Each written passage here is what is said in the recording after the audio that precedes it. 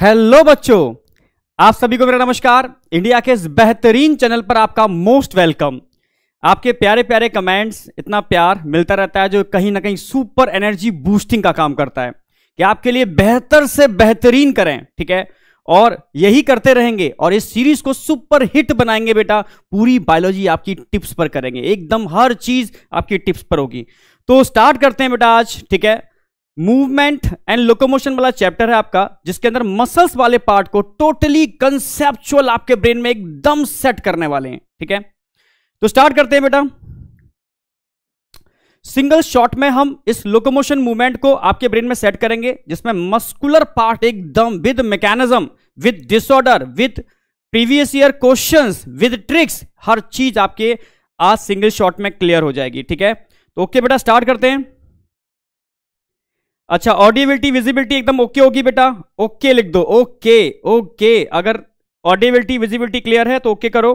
Good evening बेटा good evening Suman बेटा good evening Riddhi, Siddhi, Modi बेटा गुड इवनिंग डिम्पल प्रजापति बेटा हेलो ठीक है स्टार्ट करते हैं, ठीक है?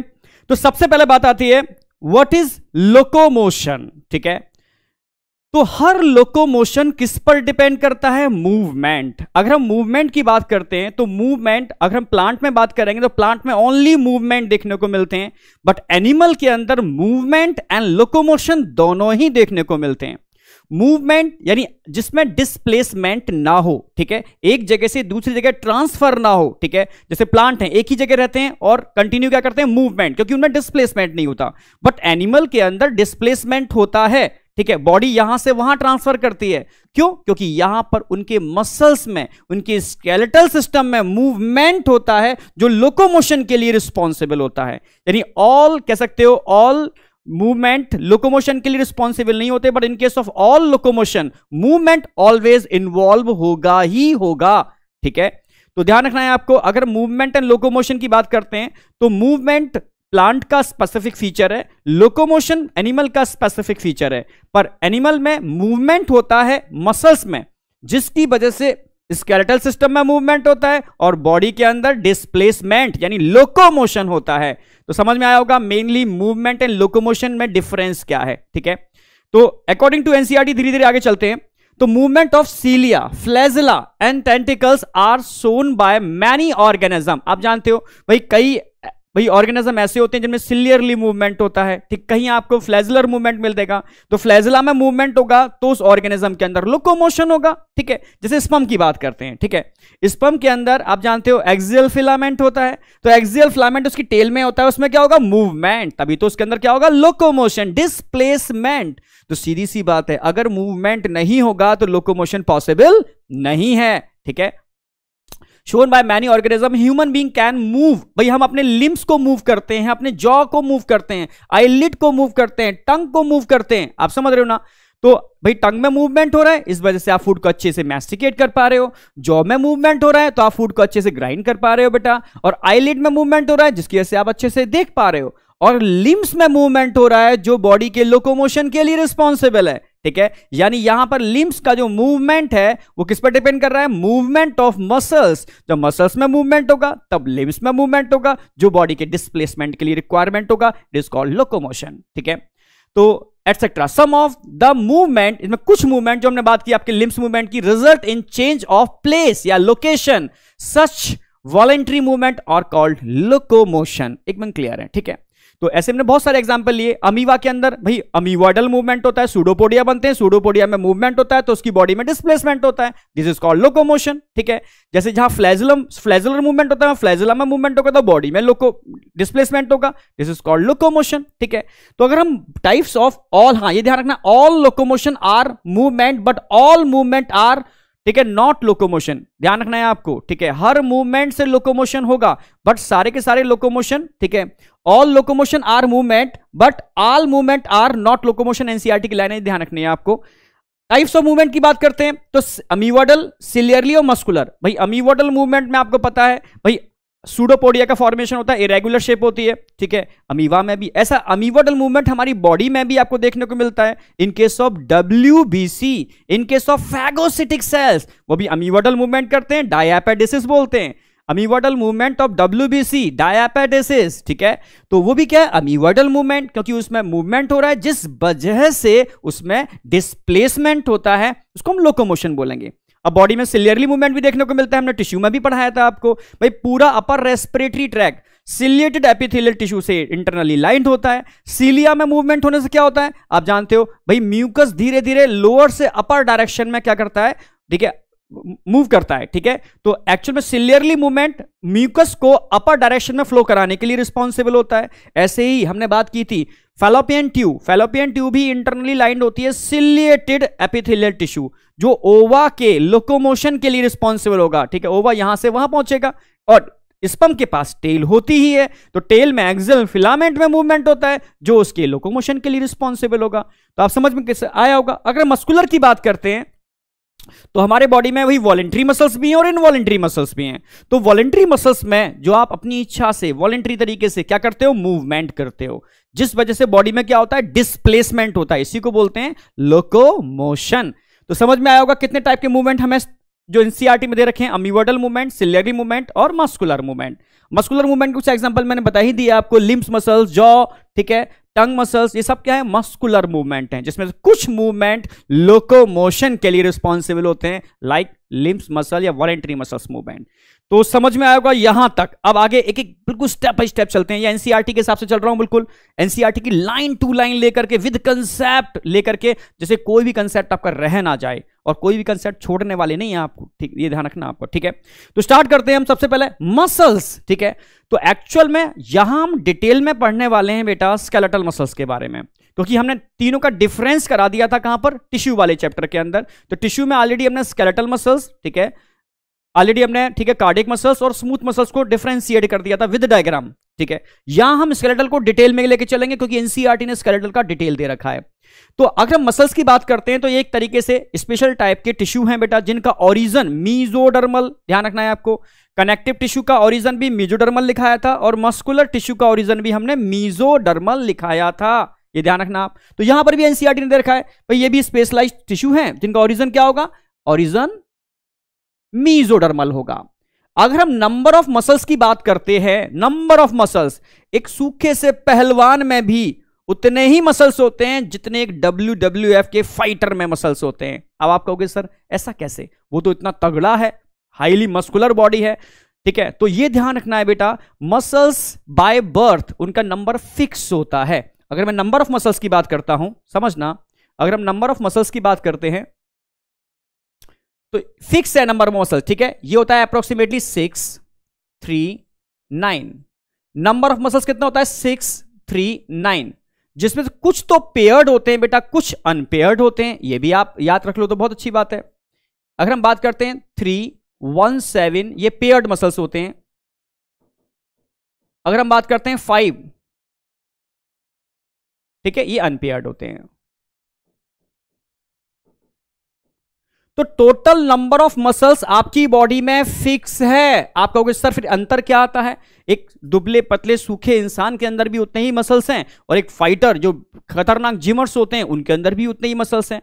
तो ध्यान रखना है, दो टर्म यूज़ होते हैं, ठीक है? एक हाइपर ट्रॉफी एक हाइपर प्लेसिया देखिए, ध्यान रखना है हाइपर ट्रॉफी ठीक है? हमारे बॉडी के अंदर हाइपर ट्रॉफी देखने को मिलती है। यानी जैसे से आप एक्सरसाइज करते हो, ठीक है? या आप हो या कोई भी पहलवान हो या कुछ भी हो फाइटर हो तो उसके अंदर मसल्स का साइज़ इंक्रीज होगा। नंबर इंक्रीज नहीं होगा। नंबर ऑलवेज फिक्स रहेगा। कम हो सकता है।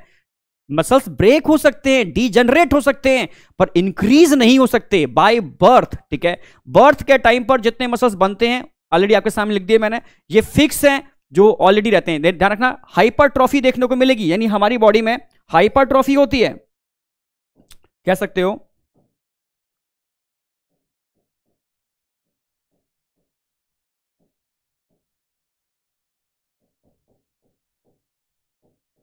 हाइपरट्रॉफी हाइपरट्रॉफी का मतलब होता है increase size in muscles increase size size बढ़ेगा, हाइपरट्रॉफी होगी। हाइपरप्लेसिया नहीं होगा, नंबर इंक्रीज नहीं होता, ये ध्यान रखना होगा आपको। मसल्स का नंबर नहीं इंक्रीज जैसे मैंने बताया भी था आपको, अगर आप एक्सरसाइज करते हो तो एक्सरसाइज करने पर ऑटोमेटिकली मसल्स पर फोर्स जनरेट होता है। फोर्स जनरेट होता है तो टेस्टोस्टेरोन का या एंड्रोजन का लेवल धीरे धीरे बढ़ना स्टार्ट हो जाता है। और एंड्रोजन का लेवल मस्कुलरिटी के लिए, यानी मसल्स के साइज़ को बढ़ाने के लिए, यानी हाइपरट्रॉफी के लिए रिस्पॉन्सिबल होता है। और मैंने आपको बताया भी था कि कहीं ना कहीं मैंने आपको साथ लिंक किया था कि जितने भी जिमर्स होते हैं, एक्टर्स होते हैं, बहुत कम टाइम में ही मसल्स डेवलप कर लेते हैं, क्योंकि वो एंड्रोजन्स के इंजेक्शंस लेते हैं। अगर आप एडिशनली एंड्रोजन्स के इंजेक्शंस लेते हैं तो मसल्स के डेवलपमेंट तेज़ी से होते हैं, ठीक है? But this is a dangerous बहुत डेंजरस ठीक है? बहुत डेंजरस होते हैं, जिसका उनको कहीं ना कहीं, ठीक है नुकसान भी उठाना पड़ता है बहुत तगड़ी तरीके से। तो बॉडी के अंदर ध्यान रखना हाइपर ट्रॉफी होगी, ठीक है? Body show hypertrophy not show लिख देता हूँ मैं। Hyperplasia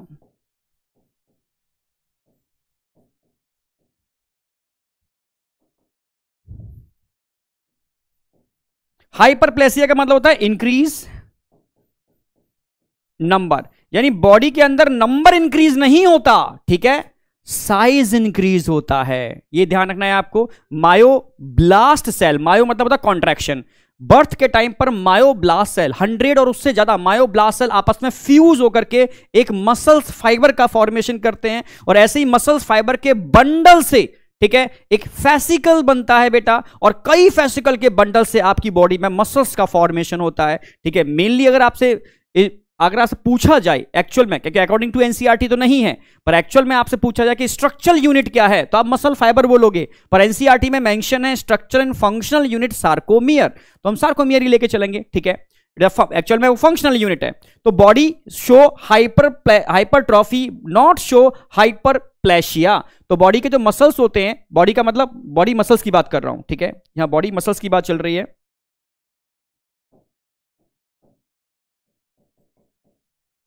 Body muscles body muscles show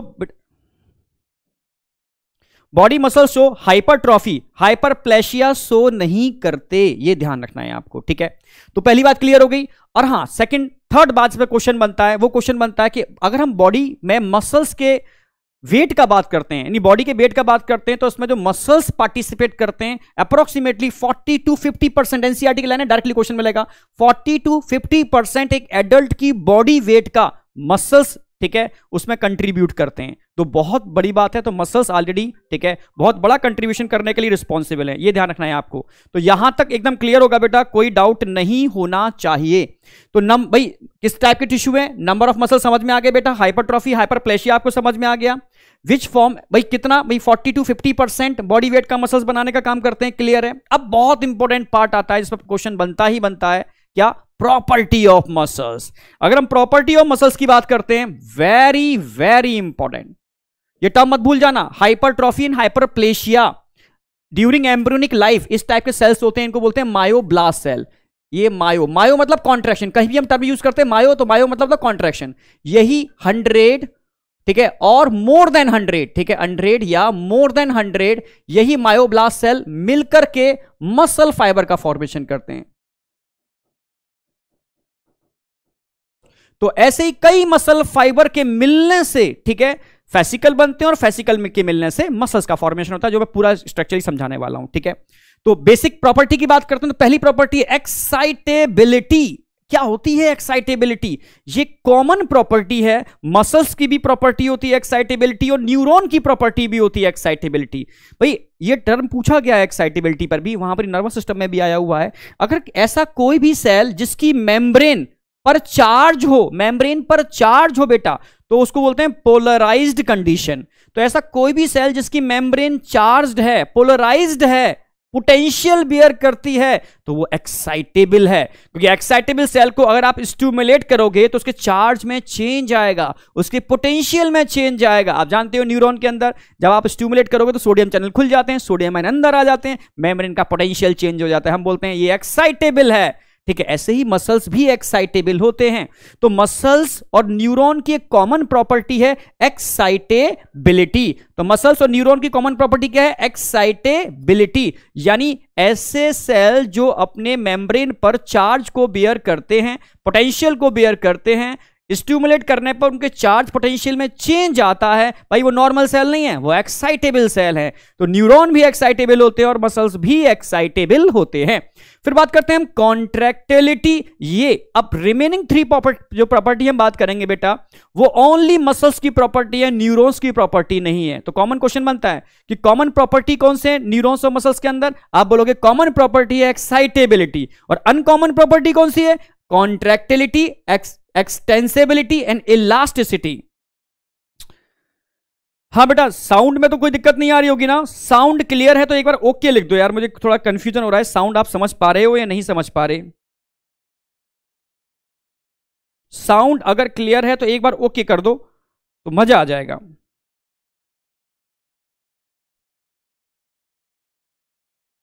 okay okay, चलो खैर।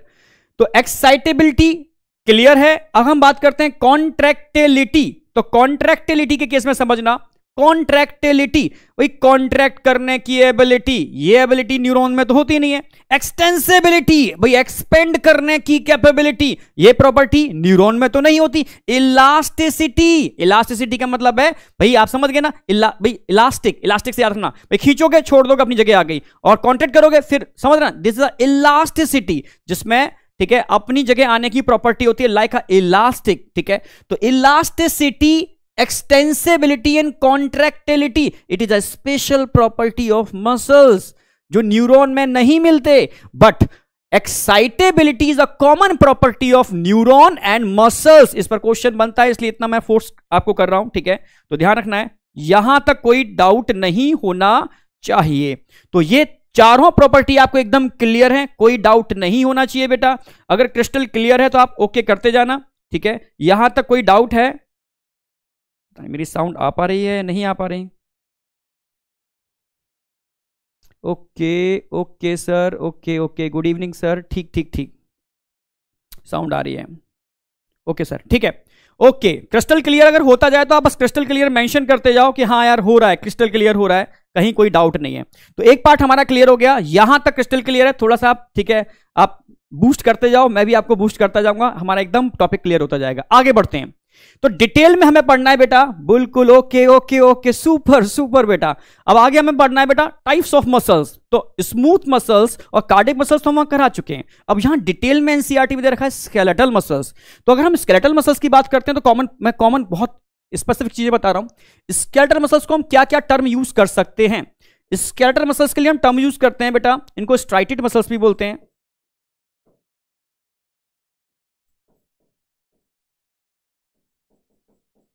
क्यों बोलते हैं स्ट्राइटेड मसल्स क्योंकि यहाँ पर light and dark band present होते हैं।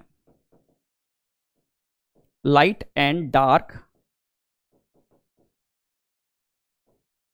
अगर किसी मसल्स में light and dark band present हैं तो उन मसल्स को हम स्ट्राइटेड मसल्स बोलते हैं। ध्यान रखना। और वॉलेंट्री होते हैं इनवॉलेंट्री भाई वॉलेंट्री होते हैं, हमारे कंट्रोल में होते हैं। स्केलेटल क्यों बोलते हैं? क्योंकि हमारे स्केलेटल सिस्टम से कनेक्टेड होते हैं और उस, भाई, इनके मूवमेंट से स्केलेटल सिस्टम में भी मूवमेंट होता है, जो लोकोमोशन के लिए रिस्पॉन्सिबल होते हैं। और इनको, ठीक है स्ट्राइपिड स्ट्राइटेड के अलावा इसको एक टर्म और यूज़ करते हैं स्ट्राइप्ड इसका मतलब क्या होता है? इनमें ट्रांसवर्स बैंड देखने को मिलते हैं। So it is also called ठीक है? Transverse band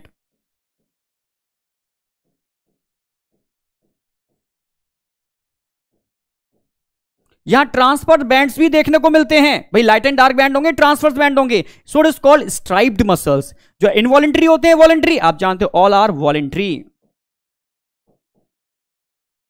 voluntary muscles. एक एक कंसेप्ट क्लियर करके चलेंगे, ठीक है? तो ये हमने बात की बेटा स्केलेटल मसल्स की, जो हम आज पढ़ाने वाले हैं, ठीक है?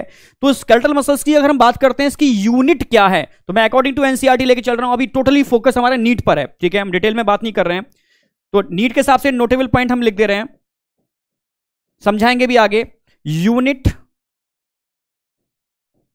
अच्छा क्वेश्चन किस किस तरीके से आएगा? क्वेश्चन आएगा फंक्शनल यूनिट पूछेगा। फंक्शनल यूनिट फंक्शनल यूनिट या ऐसे भी पूछेगा, या यूनिट ऑफ़ मसल फाइबर ऐसे भी पूछ सकता है।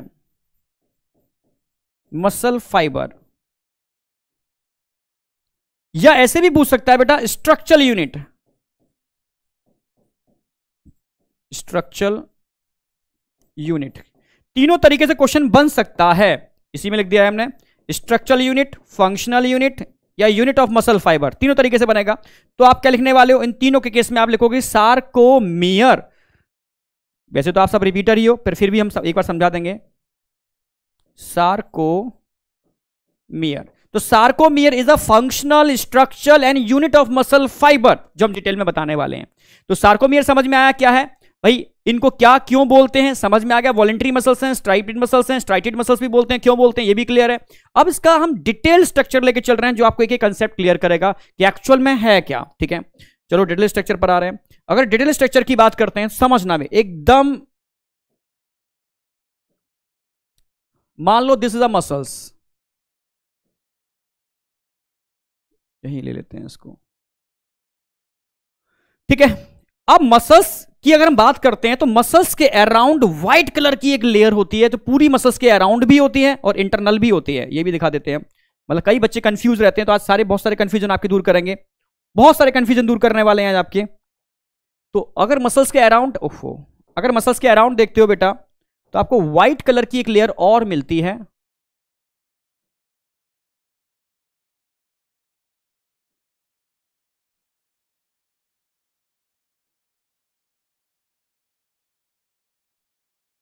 ओके, अब बिल्कुल सही बना, ठीक है? ये होगी मसल्स बेटा। मसल्स के अराउंड एक व्हाइट कलर की लेयर दिखा रखी है हमने, और मसल्स के अंदर क्या है? भाई, अंदर का भी दिखा देते हैं आपको, ठीक है? अंदर अगर आप देखोगे मसल्स के अंदर आपको आपको ढेरों सारे फैसिकल्स देखने को मिलेंगे।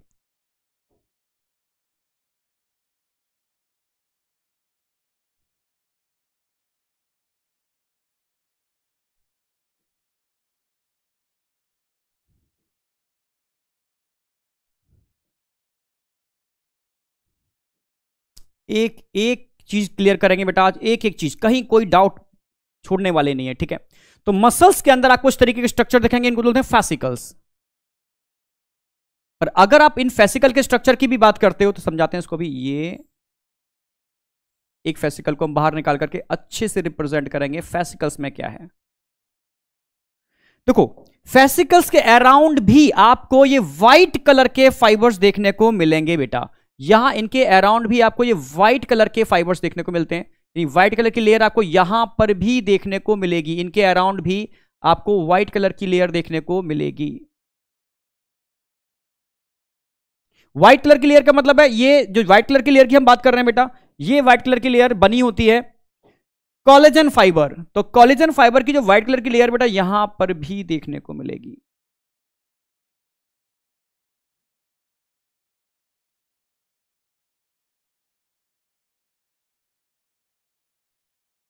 ठीक है?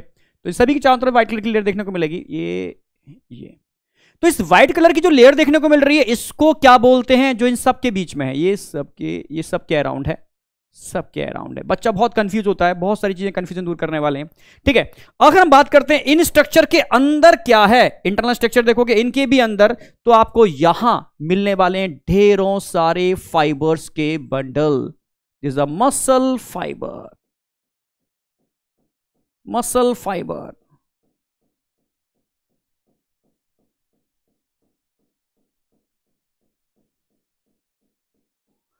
White colour की लेयर हम यहाँ पर दिखाई रहे हैं।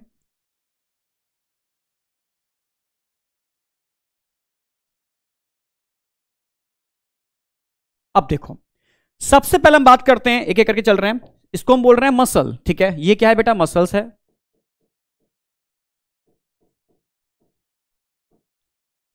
अगर हम मसल्स की बात करते हैं, ठीक है मसल्स के अंदर क्या देखने को मिल रहे हैं आपको? ठीक है मसल्स की कवरिंग की भी बात कर लेते हैं। देखो, जो मेन येलो कलर की लेयर दिख रही है येलो कलर की लेयर हम येलो कलर से रिप्रेजेंट करते हैं समझ में भी आपको अच्छे से आए। येलो कलर की जो लेयर है, इसको बोलते हैं covering of muscles covering of muscles muscles की जो कवरिंग होती है, क्या बोलते हैं इसको? भाई एपीमाइसियम एपीमाइसियम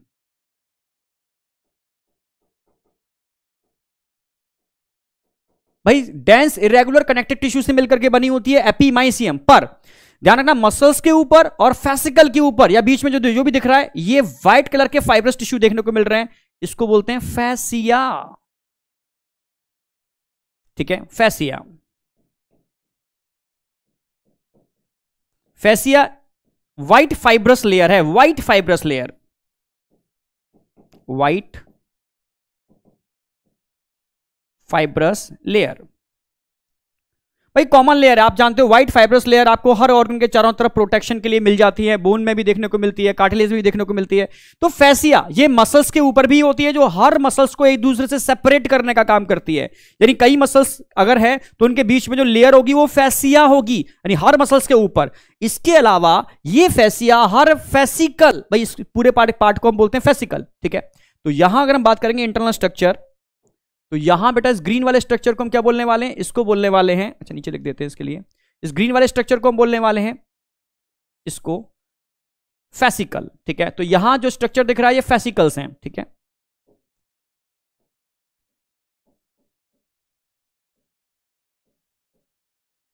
फैसिकल्स तो फैसिकल्स क्या है? Fascicles is a bundle of bundle of muscle fibre यानी कई मसल फाइबर के बंडल्स जो होते हैं, उनको फैसिकल बोलते हैं और फैसिकल्स के बंडल जो होते हैं बेटा, उसको मसल्स बोलते हैं। मसल्स क्या है? बंडल ऑफ़ फैसिकल फैसिकल्स क्या है? बंडल ऑफ़ मसल फाइबर ठीक है? तो ये चीज़ ध्यान रखनी है। तो भाई मसल्स क्या है? मसल्स को बोलेंगे बंडल ऑफ़ फैसिकल भाई कई फैसिकल के बंडल हैं, ठीक है? Bundle of fascicle a fascicle क्या it is a bundle of muscle fiber bundle of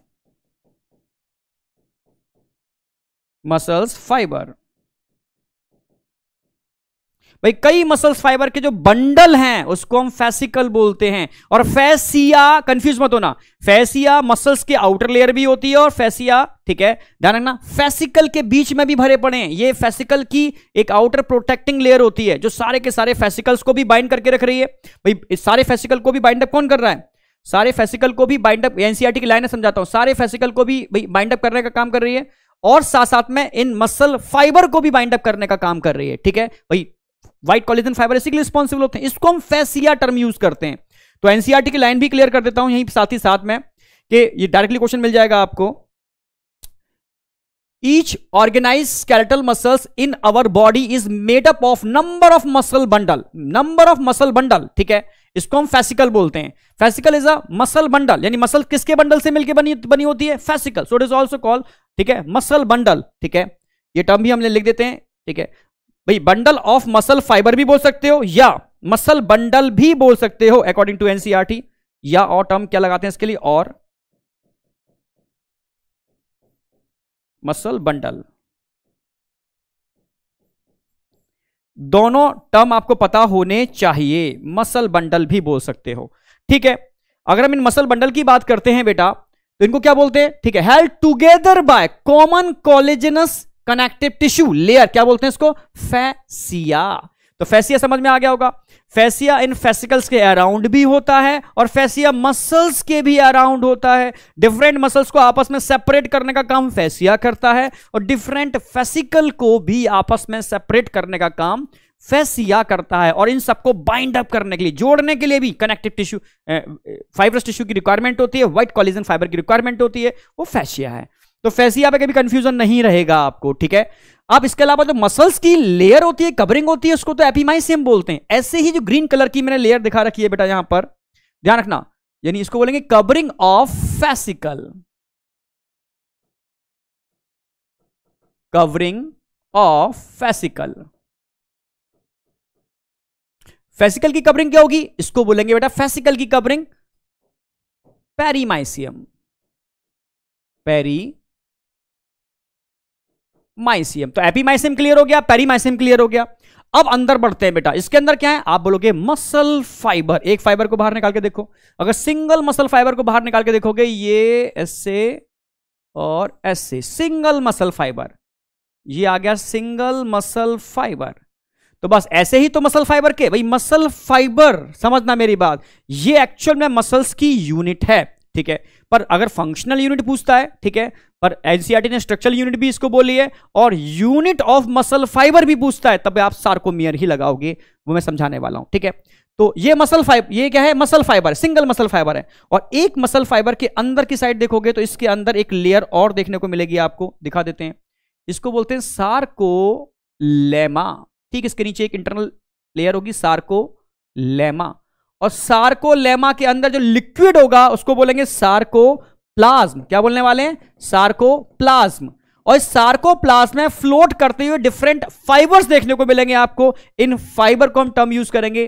दिखा देते हैं, ये फाइबर फ्लोटिंग फाइबर इनको बोलते हैं मायोफाइब्रिल ये है बेटा मायोफाइब्रिल और अगर मैं एक मायोफाइब्रिल की बात करता हूँ तो ये मायोफाइब्रिल बेटा, थोड़ा इनलार्ज करके दिखाते हैं इसको भी।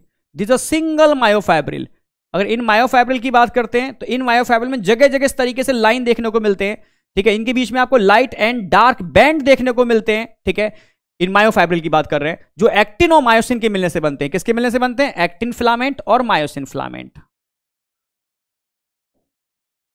ये भी दिख देते हैं, ठीक है? तो ये जो दिख रहा है आपको, इसको बोलेंगे मसल फाइबर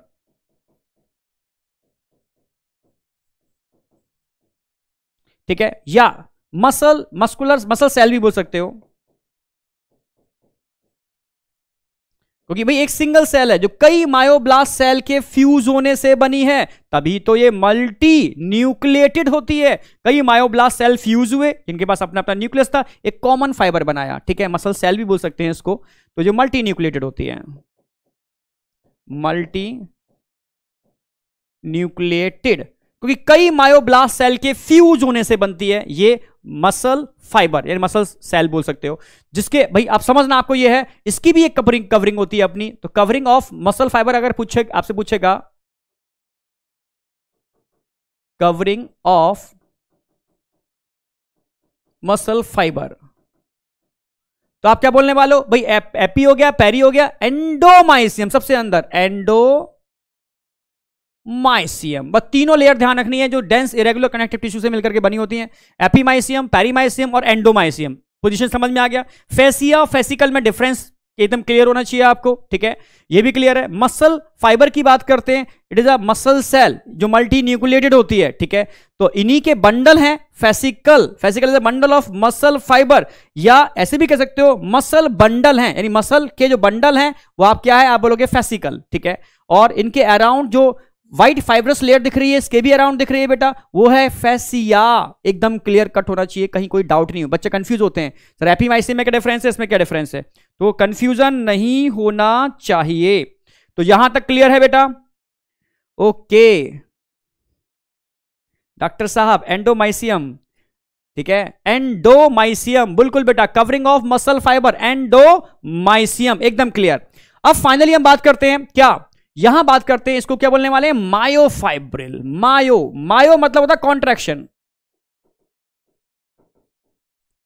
भाई, मायो टर्म आ गया तो मायो टर्म किसकी लगाते हैं? कॉन्ट्रैक्शन कहीं पर भी कॉन्ट्रैक्शन की बात आएगी तो मायो टर्म लगाएँगे। मायो ब्लास्ट सेल, जो इस मसल फाइबर को बनाते हैं। मायोफाइब्रिल, जिसमें कॉन्ट्रैक्शन प्रॉपर्टी होती है। तो इन मायोफाइब्रिल का फॉर्मेशन किससे हो रहा है? इन मायोफाइब्रिल का फॉर्मेशन हो रहा है बेटा एक्टिन और मायोसिन से। Actin and myosin. भाई, कितने एक्टिन फिलामेंट हो सकते हैं? ये आप याद कर सकते हो तो बहुत बढ़िया बात है, कोई बहुत ऐसी बात नहीं है। लगभग 3000 actin filament approximately one five double zero myosin filament मिलकर के एक मायोफाइब्रिल बनाते हैं। और कई मायोफाइब्रिल के मिलने से जो बनता है बेटा, मसल फाइबर बनता है। और मसल फाइबर के बंडल मिलकर के फेसिकल बनाते हैं। और फेसिकल के बंडल मिलकर के मसल बनाते हैं। एकदम क्लियर है? यानी muscle is a bundle of fascicle fascicle is a bundle of muscle fibre और मसल फाइबर किससे मिलके बने? आप बोलोगे मसल फाइबर के अंदर क्या होते हैं? मायो फाइब्रिल यानी ऐसे फाइबर जिनमें कॉन्ट्रेक्टाइल प्रॉपर्टी होती है। और इनका फॉर्मेशन एक्टिन और मायोसिन फिलामेंट से होता है। और एक्टिन फिलामेंट थिन फिलामेंट होते हैं और मायोसिन थिक फिलामेंट होते हैं। ये थिन होते हैं बेटा। ये थिक फिलामेंट होते हैं। तो बहुत सारे कंफ्यूजन अगर क्लियर हो रहे होंगे क्रिस्टल क्लियर हो रहा है तो बेटा ओके करो। क्रिस्टल क्लियर अगर आपको नज़र आ रहा है कि हाँ सर क्रिस्टल क्लियर हो गया। अब कंफ्यूजन नहीं है। फेसिकल फेसिया ठीक है? एफीमाइसियम पेरीमाइसियम एंडोमाइसियम इनमें कोई कंफ्यूजन नहीं है।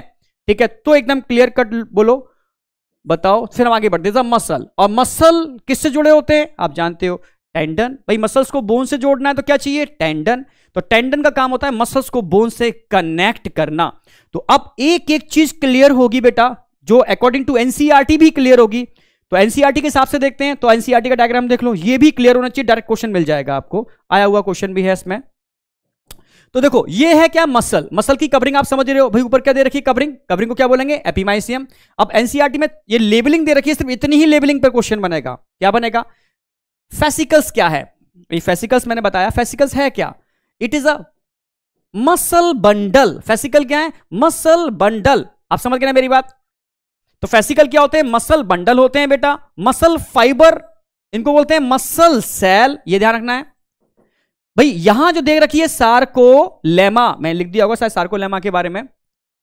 ओके ये और लिख देते हैं कुछ एडिशनल पॉइंट सार्को लेमा जिसके अंदर लिक्विड भरा हुआ है सार्को सार्कोप्लाज्म तो जो ग्रीन कलर की लेयर हमने रिप्रेजेंट की है, इसको बोलेंगे सार्को लेमा सार्को लेमा और इसमें जो लिक्विड है, इसको बोलेंगे सार्कोप्लाज्म सार्को प्लाज्म तो सार्कोप्लाज्म फिल्ड होता है सार्कोलेमा को कवर करती है, उसके ऊपर जो कवरिंग होती है बेटा एंडोमाइसियम ठीक है, किसकी कवरिंग है? मसल फाइबर की है।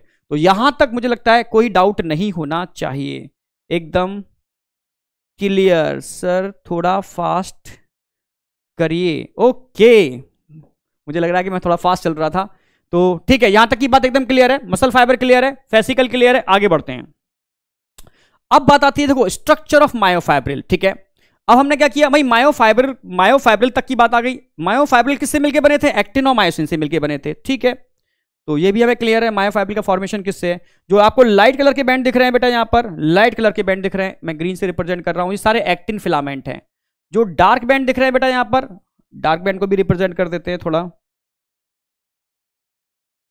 ब्लैक से कर देते हैं या रेड से ही कर देते हैं। डार्क कलर के बैंड दिख रहे हैं, ये सारे के सारे मायोसिन फिलामेंट है। डार्क वाले मायोसिन है और लाइट वाले एक्टिन है। तो ये ध्यान रखना है आपको एक्टिन एंड मायोसिन कंसेप्ट वापस आते हैं।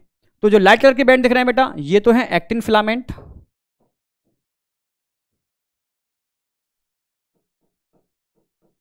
एक्टिन थिन होते हैं, थिक थिन। और जो रेड कलर के रिप्रेजेंट किए हैं यहाँ पर हमने, ये मायोसिन है। जो थिक फिलामेंट होते हैं। चलो, एक बात क्लियर होगी। अब यहाँ पर भाई, ये मैंने बताया था जेड लाइन, सेंटर में देख रहे हो जेड लाइन। इन फ्लामेंट्स के अंदर आपको क्या देखने को मिलती है? Z line. इसको जेड डिस्क भी बोलते हैं। डायग्राम में भी मैंने रिप्रेजेंट किया था अभी। यहाँ डायग्राम में बताया था this a Z Z line this a Z line और टू जेड लाइन के बीच का जो पार्ट होता है it is a unit it is a unit of समझना। यहाँ से यहाँ तक जो दिख रहा है, इसी को बोलते हैं sarcomere sarcomere is a unit of functional and structural unit of muscles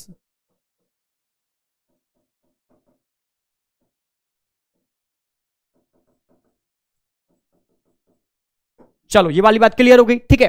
तो दो जेड लाइन के बीच में तो एक मायोफाइब्रिल जिसमें कॉन्ट्रेक्शन की प्रॉपर्टी होती है तो इसी को बेटा सार्को इनके जो सेंटर में जेड लाइन दिख रहे हैं, इन दो जेड लाइन के बीच वाले पार्ट को हम क्या बोलते हैं? सार्कोमियर बस अभी इतनी बात करेंगे, अब डिटेल में इसको हम आगे लेके चलते हैं। अगर हम एक सार्कोमियर अब सिंगल सार्कोमियर को हम डिटेल में लेके चलते हैं स्ट्रक्चर ऑफ़ सार्कोमियर तो हम बात करते हैं structure of sarcomere structure of sarcomere फिर ठीक है, देखते हैं इसके स्ट्रक्चर में क्या। तो इसके स्ट्रक्चर में अभी बताया मैंने दिस ब्लैक कलर की लाइन दिख रही है, इसको क्या बोलने वाले हैं हम? जेड लाइन बोलने वाले हैं। दिस अ जेड लाइन या डिस्क भी बोल सकते हो। जेड लाइन अब समझना होगा आपको जेड लाइन से किसका कनेक्शन होता है? एक्टिन फिलामेंट जो आपको ये दिख रहे हैं एक्टिन फिलामेंट जो आपको रेड कलर के स्ट्रक्चर दिख रहे हैं, ये क्या है? सारे के सारे myosin filament actin and myosin, clear होगा? अब यहाँ समझना यह है, अब समझना मेरी बात। तो यहाँ से यहाँ तक भाई दो मायोसिन के बीच का वाला पार्ट ठीक है? ये मायोसिन को पूरा ले लेते हैं, मायोसिन यहाँ से यहाँ तक आपको मायोसिन दिख रही है, ठीक है? ये थिक फिलामेंट दिख रहा है मायोसिन।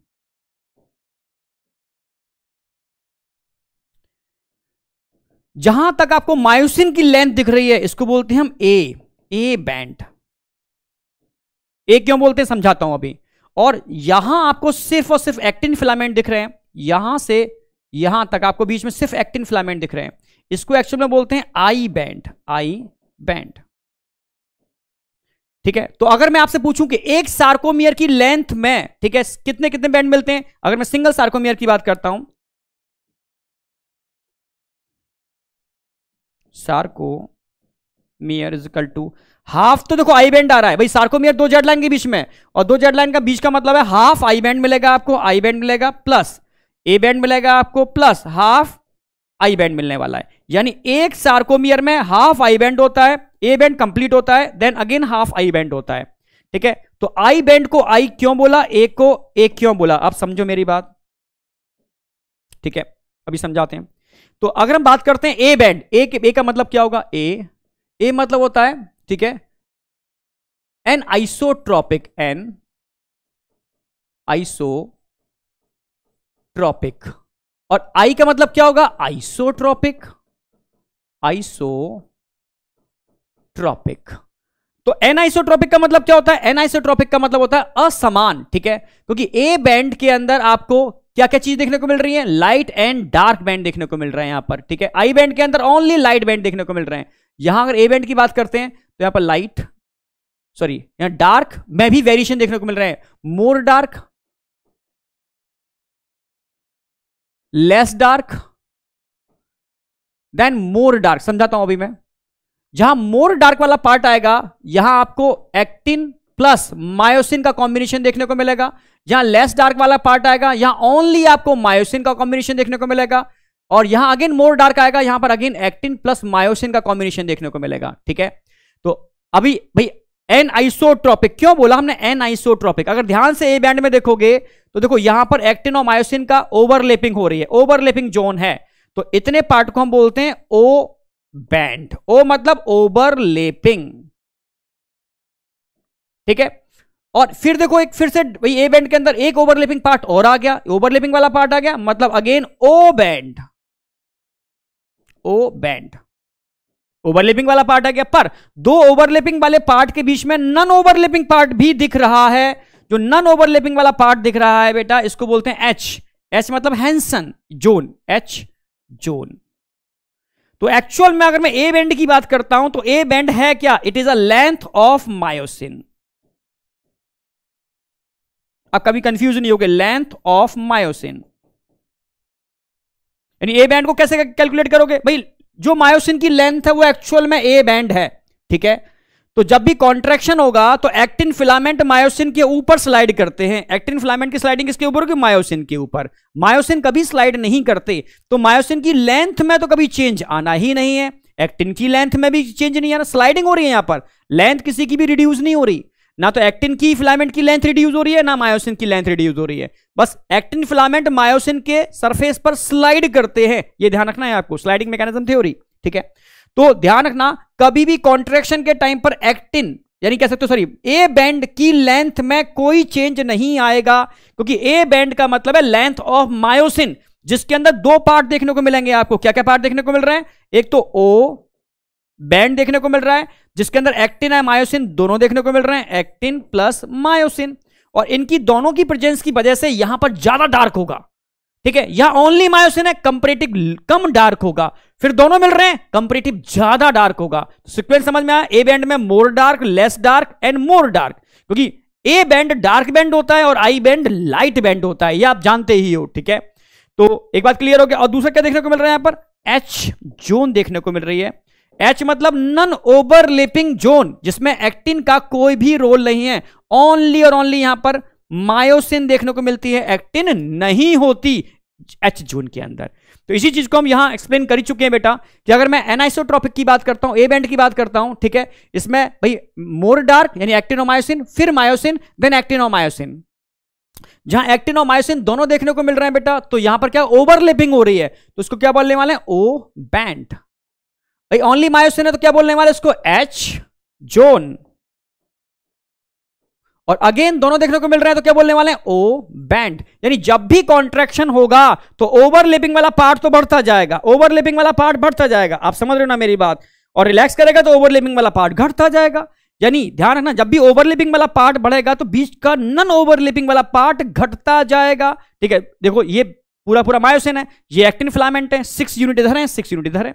तो कॉन्ट्रेक्शन होगा तो एक्टिन फिलामेंट धीरे धीरे आगे बढ़ेंगे। तो बीच का नन ओवरलिपिंग वाला पार्ट रिड्यूस होता जा रहा है ओवरलिपिंग वाला पार्ट बढ़ता जा रहा है। During contraction length of myosin change नहीं होती मींस ए बैंड में कोई चेंज नहीं आता।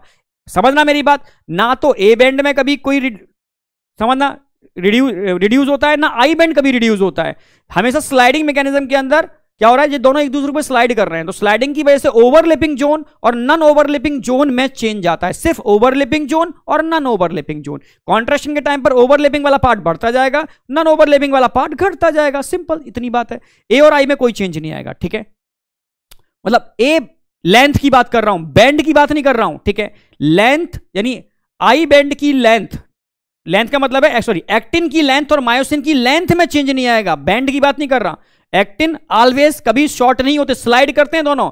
किसी की किसी की भी शॉर्टनिंग नहीं होती, ना एक्टिन फिलामेंट की होती है, ना मायोसिन की, ठीक है? बस यहाँ पर क्या होगा? स्लाइडिंग होगी। स्लाइडिंग की वजह से ओवरलेपिंग और नॉन ओवरलेपिंग जोन में चेंज आएगा, जिसकी वजह से I band O band H zone इनमें चेंज आएँगे बैंड में चेंज आएँगे, वो समझाने वाला हूँ मैं, ठीक है?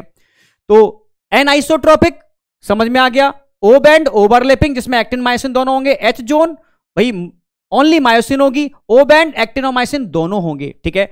तो जब भी स्लाइडिंग होगी बेटा तो ये मायोसिन है, ठीक है? ये जेड लाइन थी, जिसपे कौन लगा हुआ था? एक्टिन फिलामेंट ये एक्टिन फिलामेंट ये एक्टिन फिलामेंट और ये एक्टिन फिलामेंट जब भी स्लाइडिंग होगी तो क्या होगा? ये जेड लाइन आपस में पास पास आएँगे। जब जेड लाइन पास पास आएँगे बेटा तो क्या होगा? भाई मायोसिन की लेंथ जितनी थी उतनी ही रहेगी। मायोसिन की लेंथ में कोई चेंज नहीं आएगा। तो क्या हो जाएगा? ये एक्टिन फिलामेंट स्लाइड होकर के यहाँ से यहाँ तक आ गए। और ये भी स्लाइड होकर के बिल्कुल पास तक आ गए। आपस में ओवरलेप कर जाएँगे। यानी यहाँ पर ए बैंड में कोई चेंज नहीं आएगा। ठीक है लेंथ ऑफ़ सार्कोमियर रिड्यूस होगी। आई बैंड जो नन ओवरलेपिंग वाला पार्ट आई बैंड वाला पार्ट था आई बैंड कंटिन्यू रिड्यूस हो गया भाई गायब हो गया आई बैंड तो दूसरा वाला यहाँ पर भी आ गया इस तरीके से। आई बैंड की शॉर्टनिंग होगी ए बैंड पे कोई इफ़ेक्ट नहीं आएगा बेटा। ओवरलेपिंग वाला पार्ट बढ़ गया और बीच वाला नन ओवरलेपिंग वाला पार्ट डिसअपियर हो गया। सिंपल सी बात। तो आई बैंड के अंदर, ध्यान रखना, यहाँ ओनली एक्टिन प्रेजेंट होता है। तो आई बैंड में ओनली एक्टिन प्रेजेंट होता है, ठीक है? ए बैंड के अंदर actin and myosin both present होते हैं। तो ए बैंड में एक्टिन एंड मायोसिन दोनों प्रेजेंट होंगे बेटा, ठीक है? आई बैंड के अंदर ओनली और ओनली एक्टिन प्रेजेंट होगा। यहाँ पर ए बैंड तो ए बैंड में जहाँ मतलब लिख तो दिया मैंने ए बैंड का मतलब है, भाई एनाइसोट्रॉपिक यानी असमान मतलब डार्क में भी डिफरेंस देखने को मिल रहा है। More dark less dark more dark जिसमें एक्टिन मायोसिन दोनों है मायोसिन भी है एक्टिन मायोसिन जहाँ पर ओनली मायोसिन है, वो एच जॉन जहाँ पर एक्टिन मायोसिन की ओवरलेपिंग हो रही है ओवरलेपिंग वाला बैंड बन रहा है ओ बैंड ठीक है? तो एक बात तो क्लियर होगी अच्छा एक एम लाइन और होती है, वो भी हम रिप्रेजेंट कर देते हैं M line M line center में एक लाइन होती है, ठीक है? बस उसको एम लाइन बोलते हैं। Present in center of sarcomere एक एच एच मतलब एच जोन हैंसन जोन भी बोलते हैं. हैंसन्स जोन हैंसन साइंटिस्ट का नाम था, उसके नाम पर एच जोन लगा दिया. एच जोन की बात आती है. Non overlapping part of myosin सारे क्वेश्चन जैसे आते हैं सेम उसी फॉर्म में लिख रहा हूँ, सीधे क्वेश्चन मिलेंगे आपको। तो अब वापस आते हैं। तो आप समझ में आ गया होगा, जब ये मसल्स कॉन्ट्रैक्ट करेगी जेड लाइन पास आएँगे। जेड लाइन पास आएँगे क्यों? क्योंकि एक्टिन फिलामेंट मायोसिन के ऊपर स्लाइड करेंगे बेटा। जिसकी वजह से एच जोन धीरे धीरे रिड्यूस होगी ओ बैंड कंटिन्यू बढ़ेगा, पर ए पर कोई इफ़ेक्ट नहीं आएगा। आई बैंड रिड्यूस होता जाएगा क्योंकि ये जब जेड लाइन पास आएँगे तो ये नन समझना मेरी बात, जो एक्टिन वाला पार्ट रिड्यूस होता जाएगा, ठीक है? यानी जब भी मसल्स कॉन्ट्रैक्ट करेगी जेड लाइन पास आएँगे जेड लाइन पास आएँगे तो आई बैंड धीरे धीरे कम होता जाएगा एच जोन कम होती जाएगी ओवरलिपिंग वाला पार्ट बढ़ता जाएगा पर ए बैंड पर कोई इफ़ेक्ट नहीं आएगा, क्योंकि ए बैंड मतलब लेंथ ऑफ़ मायोसिन मायोसिन की लेंथ पर कोई इफ़ेक्ट नहीं आना। पर ए बैंड में ओवरलिपिंग वाला पार्ट बढ़ेगा और नन ओवरलिपिंग वाला पार्ट घटेगा। मीस एच जोन रिड्यूस होगी। तो ये वाला पार्ट एकदम क्लियर होना चाहिए, कोई डाउट नहीं होनी चाहिए बेटा। किसके कॉन्ट्रेक्शन पे क्या होता है, क्या नहीं होता? क्वेश्चन इस तरीके से बनते हैं। ड्यूरिंग कंप्लीट कॉन्ट्रेक्शन ध्यान रखना कंप्लीट कॉन्ट्रेक्शन होगा तो क्या होगा? जब मसल्स कंप्लीटली कॉन्ट्रैक्ट करेगी। लेंथ ऑफ़ सार्कोमियर इंक्रीज होगा डिक्रीज भाई लेंथ ऑलवेज डिक्रीज होगी क्योंकि जेड लाइन पास आएँगे। Length of I band increase या decrease length of I band धीरे धीरे डिक्रीज होना चालू हो जाएगी। क्योंकि आई बैंड क्या था? अब समझना, ये जेड लाइन है, ये जेड लाइन है तो ये इधर आई बैंड समझना हाफ़ आई बैंड इधर चला गया हाफ़ आई बैंड इधर आ गया। और बीच में ये क्या हो गई?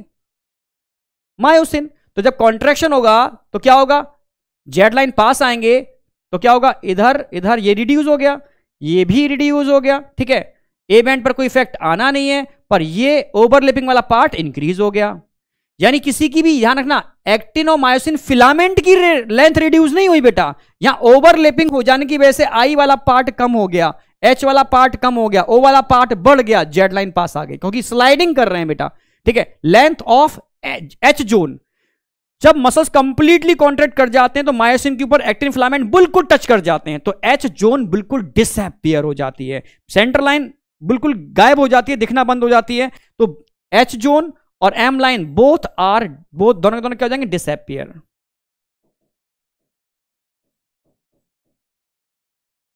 अच्छा लेंथ ऑफ़ ओ बैंड पर क्या होगा? O band always during contraction increase होगा। ओवरलिपिंग वाला पार्ट कंटिन्यू इंक्रीज होगा।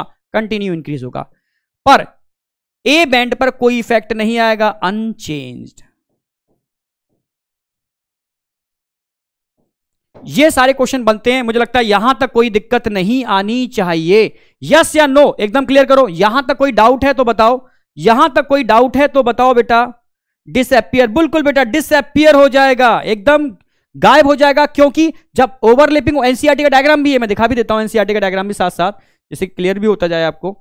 तो एनसीआरटी का डायग्राम भी दे रखा है। ध्यान से देखोगे, यहाँ हो क्या रहा है? भाई, ये है जेड लाइन एकदम क्लियर हो जाएगा। जेड लाइन ये जेड लाइन भाई, जब मसल्स कॉन्ट्रैक्ट करती है अभी रिलैक्स कंडीशन में कॉन्ट्रैक्टिंग फ़ेज़ में आ गई। कॉन्ट्रैक्टिंग फ़ेज़ में आ गई तो क्या करेगी? आगे जाकर के जेड लाइन पास आएँगी। जेड लाइन पास आएँगी तो एच जोन क्या होती जाएगी? रिड्यूस होती जाएगी। ठीक है? आई वाली जोन क्या होती जाएगी? ये भी रिड्यूस होती जाएगी। ठीक है? ओवरलेपिंग वाला पार्ट क्या होता जाएगा? कंटिन्यू इंक्रीज होता जाएगा। पर क्या लेंथ ऑफ़ मायोसिन रिड्यूस होगी? ना। यानी ए बैंड पर कोई इफ़ेक्ट नहीं आया देखो कंप्लीट कॉन्ट्रेक्शन हो गया। ए बैंड उतना का उतना ही है, क्योंकि मायोसिन की लेंथ में कोई चेंज नहीं आया।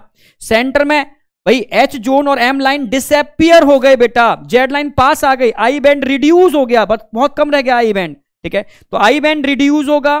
सब कुछ रिड्यूस होगा। ध्यान रखना। ओ बैंड इंक्रीज होगा। ठीक है? ओ बैंड इंक्रीज होगा ओवरलिपिंग वाला पार्ट बढ़ेगा, और ध्यान रखना ए बैंड अनचेंज कोई भी चेंज नहीं होगा उसके अंदर। जैसा था वैसा का वैसा ही रहेगा ए बैंड तो ए बैंड पर कोई इफ़ेक्ट नहीं आएगा ओवरलिपिंग वाला पार्ट इंक्रीज होगा और सब कुछ रिड्यूस होगा, जिसमें एच जोन और एम लाइन जो सेंटर लाइन होती है, वो कंप्लीटली डिसअपियर कर जाएगी during complete contraction of muscles तो ये एनसीआरटी का डायग्राम पूछा जाता है तो पता होनी चाहिए इसमें हो क्या रहा है।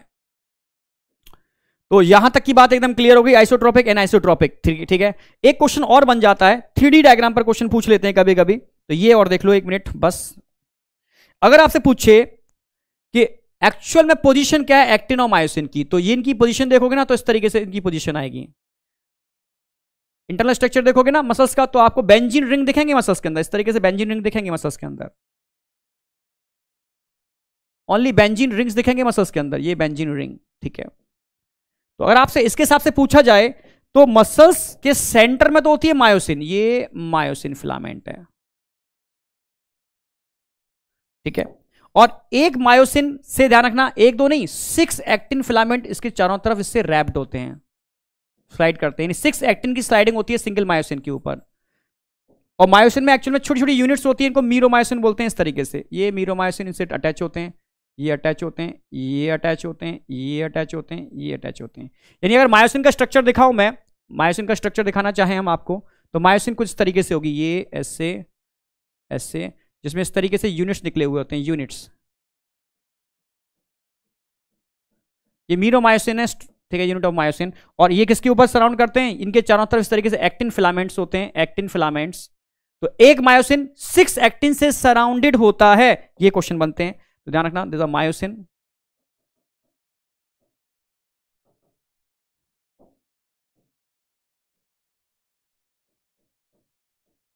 एक्टिन और हम एक एक्टिन की बात करते हैं बेटा तो कितने मायोसिन से सराउंडेड है? अब ध्यान से, यहाँ भी मायोसिन होगा। यहाँ भी मायोसिन होगा सेंटर में। तो अगर आपसे पूछा single actin surrounded by single actin surrounded surrounded by three myosin ठीक है?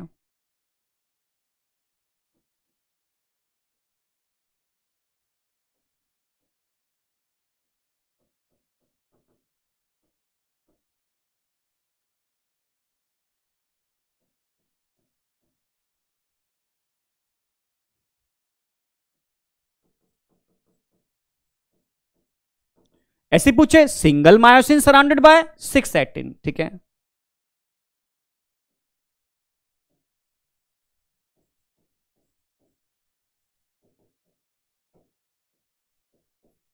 एक क्वेश्चन ये बन सकता है कि कौन कितने से सराउंडेड है। अब यहाँ से क्लियर हो जाएगा, आपको कोई दिक्कत नहीं आएगी, ठीक है? ये आपने दिखाई दिया दिस एक्टिन लिखी दिया एन मायोसिन आगे बढ़ते हैं बेटा। अब question super NCERT based question बनते हैं। स्ट्रक्चर ऑफ़ कॉन्ट्रेक्टाइल प्रोटीन अगर हमें कॉन्ट्रेक्टाइल प्रोटीन के स्ट्रक्चर की बात करते हैं तो इनको थ्री पार्ट में आप डिवाइड कर सकते हो। स्ट्रक्चर ऑफ़ कॉन्ट्रेक्टाइल प्रोटीन को थ्री पार्ट में। डायरेक्टली क्वेश्चन कैसे मिलेगा? बताओ, इनमें से फोर्स जनरेटिंग प्रोटीन पूछेगा स्ट्रक्चरल प्रोटीन पूछेगा रेगुलेटिंग प्रोटीन पूछेगा, ठीक है? तो force generating protein force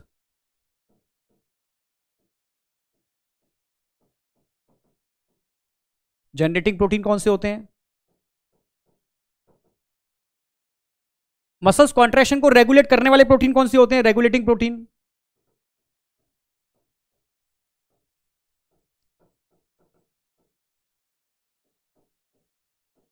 और स्ट्रक्चरल प्रोटीन कौन से होते हैं?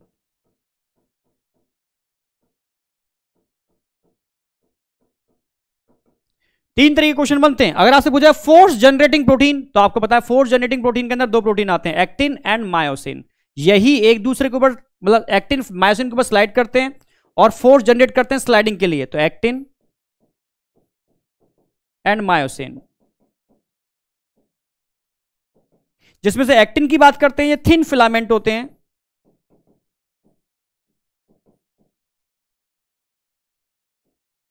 और मायोसिन की बात करते हैं बेटा, ये थिक फिलामेंट होते हैं।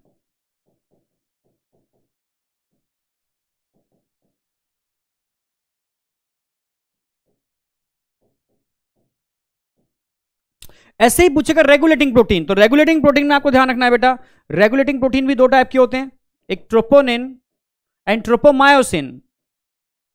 ट्रोपो मायोसिन यही मसल्स कॉन्ट्रेक्शन को रेगुलेट करते हैं। मायोसिन। एंड सेकेंड आप लिखोगे यहाँ पर ट्रोपोनिन।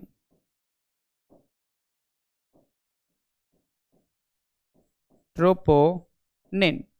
अगर मैं ट्रोपोमायोसिन की बात करता हूँ बेटा, और ट्रोपोनिन की बात करता हूँ both are part of thin filament ये क्वेश्चन आया हुआ है। इन दोनों के केस में बात करते हैं।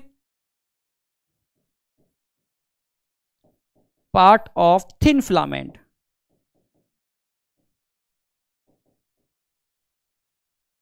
दोनों ही थिन फिलामेंट का पार्ट है, थिक से कोई मतलब नहीं है। स्ट्रक्चरल प्रोटीन जो मसल्स के स्ट्रक्चर को मेंटेन करके रखे जेड लाइन क्योंकि जेड लाइन अगर टूट गई, क्योंकि जेड लाइन से एक्टिन फिलामेंट बाइंड अप होते हैं, अगर जेड लाइन ब्रेक हो गई बेटा तो मसल्स फाइबर क्या हो जाएँगे? ब्रेक होना चालू हो जाएँगे। जेड लाइन ही मतलब मायोफाइब्रिल टूटने चालू हो जाएँगे, क्योंकि मायोफाइब्रिल के स्ट्रक्चर को मेंटेन कौन करता है? जेड लाइन क्योंकि एक्टिन फिलामेंट किससे जुड़े होते हैं? Z line Z line break तो मसल्स में मायोफाइब्रिल क्या हो जाएँगे? ब्रेक हो जाएँगे। तो ध्यान रखना है जेड लाइन स्ट्रक्चरल प्रोटीन है इसको एक्टेनिन भी बोलते हैं, ठीक है?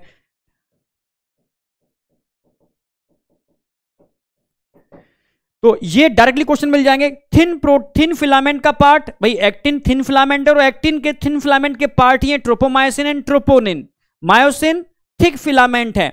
Structural protein Z line protein है। डायरेक्ट क्वेश्चन मिलेगा। अब इनको थोड़ा सा हम समझ लेते हैं। अगर मैं नंबर वन बात करता हूँ फोर्स जनरेटिंग प्रोटीन तो फोर्स जनरेटिंग प्रोटीन में कौन कौन आ जाएगा? एक्टिन एंड मायोसिन तो फोर जनरेटिंग प्रोटीन की अगर हम बात करेंगे तो यहाँ हम बात करेंगे एक्टिन एंड मायोसिन की।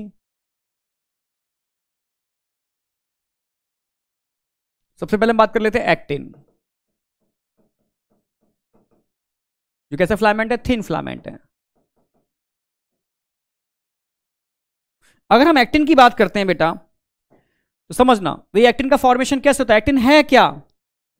तो एक्टिन छोटे छोटे गोल गोल यूनिट्स होते हैं, ग्लोब्यूलर एक्टिन, इनको बोलते हैं ग्लोब्यूलर एक्टिन।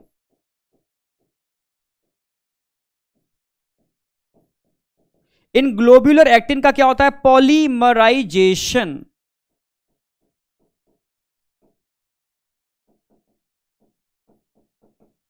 किसकी प्रेजेंस में होगा? ऑलवेज मैग्नीशियम आयन की प्रेजेंस में।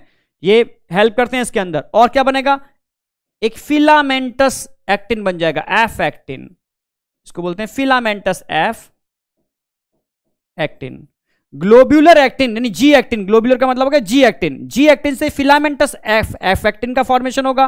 और ऐसे ही दो फिलामेंट मिलकर के, समझना, ऐसे ही दो फिलामेंट मिलकर के एक्टिन का फॉर्मेशन करते हैं। ये एक्चुअल में दो फिलामेंट हैं। एक दूसरे के ऊपर रैप्ड हैं, जो एक्चुअल में एक्टिन फिलामेंट का फॉर्मेशन कर रहे हैं। यानी एक एफ्टिन एफ़ एक्टिन दूसरा एफ़ एक्टिन इनके मिलने से बनता है actin filament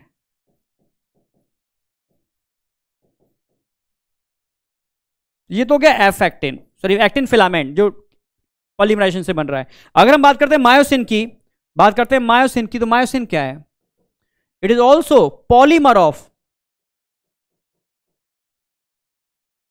myosin, thick filament है। ये क्या है? It is a polymer of meromyosin.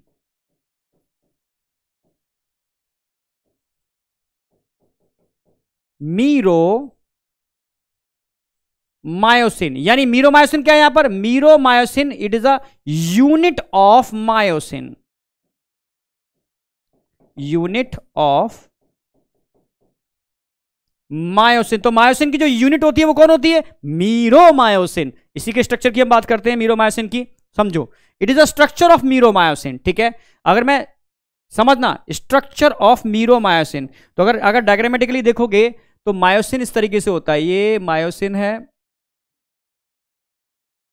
तो उसमें ढेरों सारे मीरोमायोसिन इस तरीके से निकले हुए होते हैं। कई मीरोमायोसिन के मिलने से इस मायोसिन का फॉर्मेशन होगा। कई मीरोमायोसिन के मिलने से इस मायोसिन का फॉर्मेशन होगा। तो मायोसिन क्या है बेटा? It is a structural unit of meromyosin.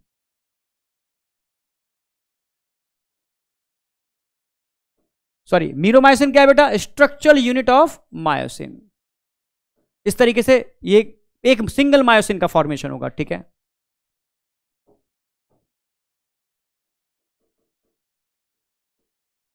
Single myosin के फॉर्मेशन के लिए कई मीरोमायोसिन की रिक्वायरमेंट होती है। अब यहाँ हमने मीरोमायोसिन की बात की। अगर हम मीरोमायोसिन की बात करते हैं तो इसमें सिक्स पॉलीपेप्टाइड्स होते हैं। कितने नंबर ऑफ़ पॉलीपेप्टाइड अगर पूछे आपसे, लिख देते हैं।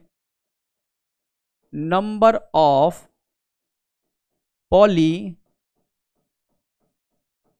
polypeptides in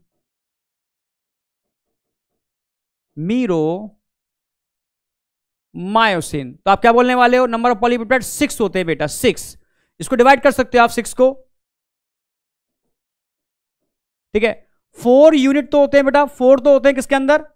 आप बोलोगे क्रॉस आर्म क्रॉस आर्म और टू होते हैं बेटा टू यूनिट होते हैं इसकी टेल में। अब कैसे? अब समझाता हूँ, इसी चीज़ को समझना है आपको। कैसे? यहाँ अलग है, यहाँ अलग है। तो इसको थ्री पार्ट में डिवाइड कर सकते हैं। क्या? तो ये तो होगी टेल वाला पार्ट, यहाँ से यहाँ तक हो गया टेल। ठीक है, जिसमें यूनिट कितने होते हैं? टेल के अंदर टू यूनिट होते हैं बेटा, दिख रहे होंगे आपको टू यूनिट ठीक है? ये कंपेरेटिव लो मॉलिकुलर वेट होता है तो क्या बोलेंगे इसको? Light meromyosin light meromyosin जबकि अगर मैं क्रॉस आर्म की बात करता हूँ तो क्रॉस आर्म का फॉर्मेशन किस किस से होता है? देखो, ये छोटा सा पार्ट दिख रहा है, इसको बोलते हैं क्रॉस शॉर्ट आर्म और ऊपर देख रहा है ग्लोब्यूलर हेड यानी क्रॉस आर्म के अंदर दो पार्ट हो गए. क्या क्या हो गए? ग्लोब्यूलर हेड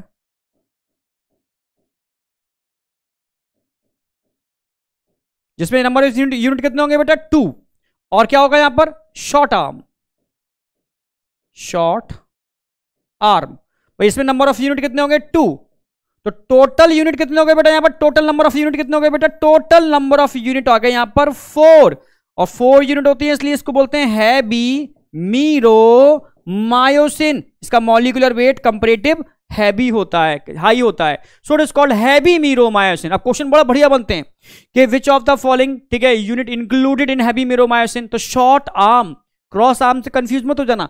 क्रॉस आर्म का फॉर्मेशन शॉर्ट आर्म और ग्लोब्यूलर हेड के मिलने से होता है, ठीक है? यानी क्रॉस आर्म क्रॉस आर्म ही क्यों बोलते हैं?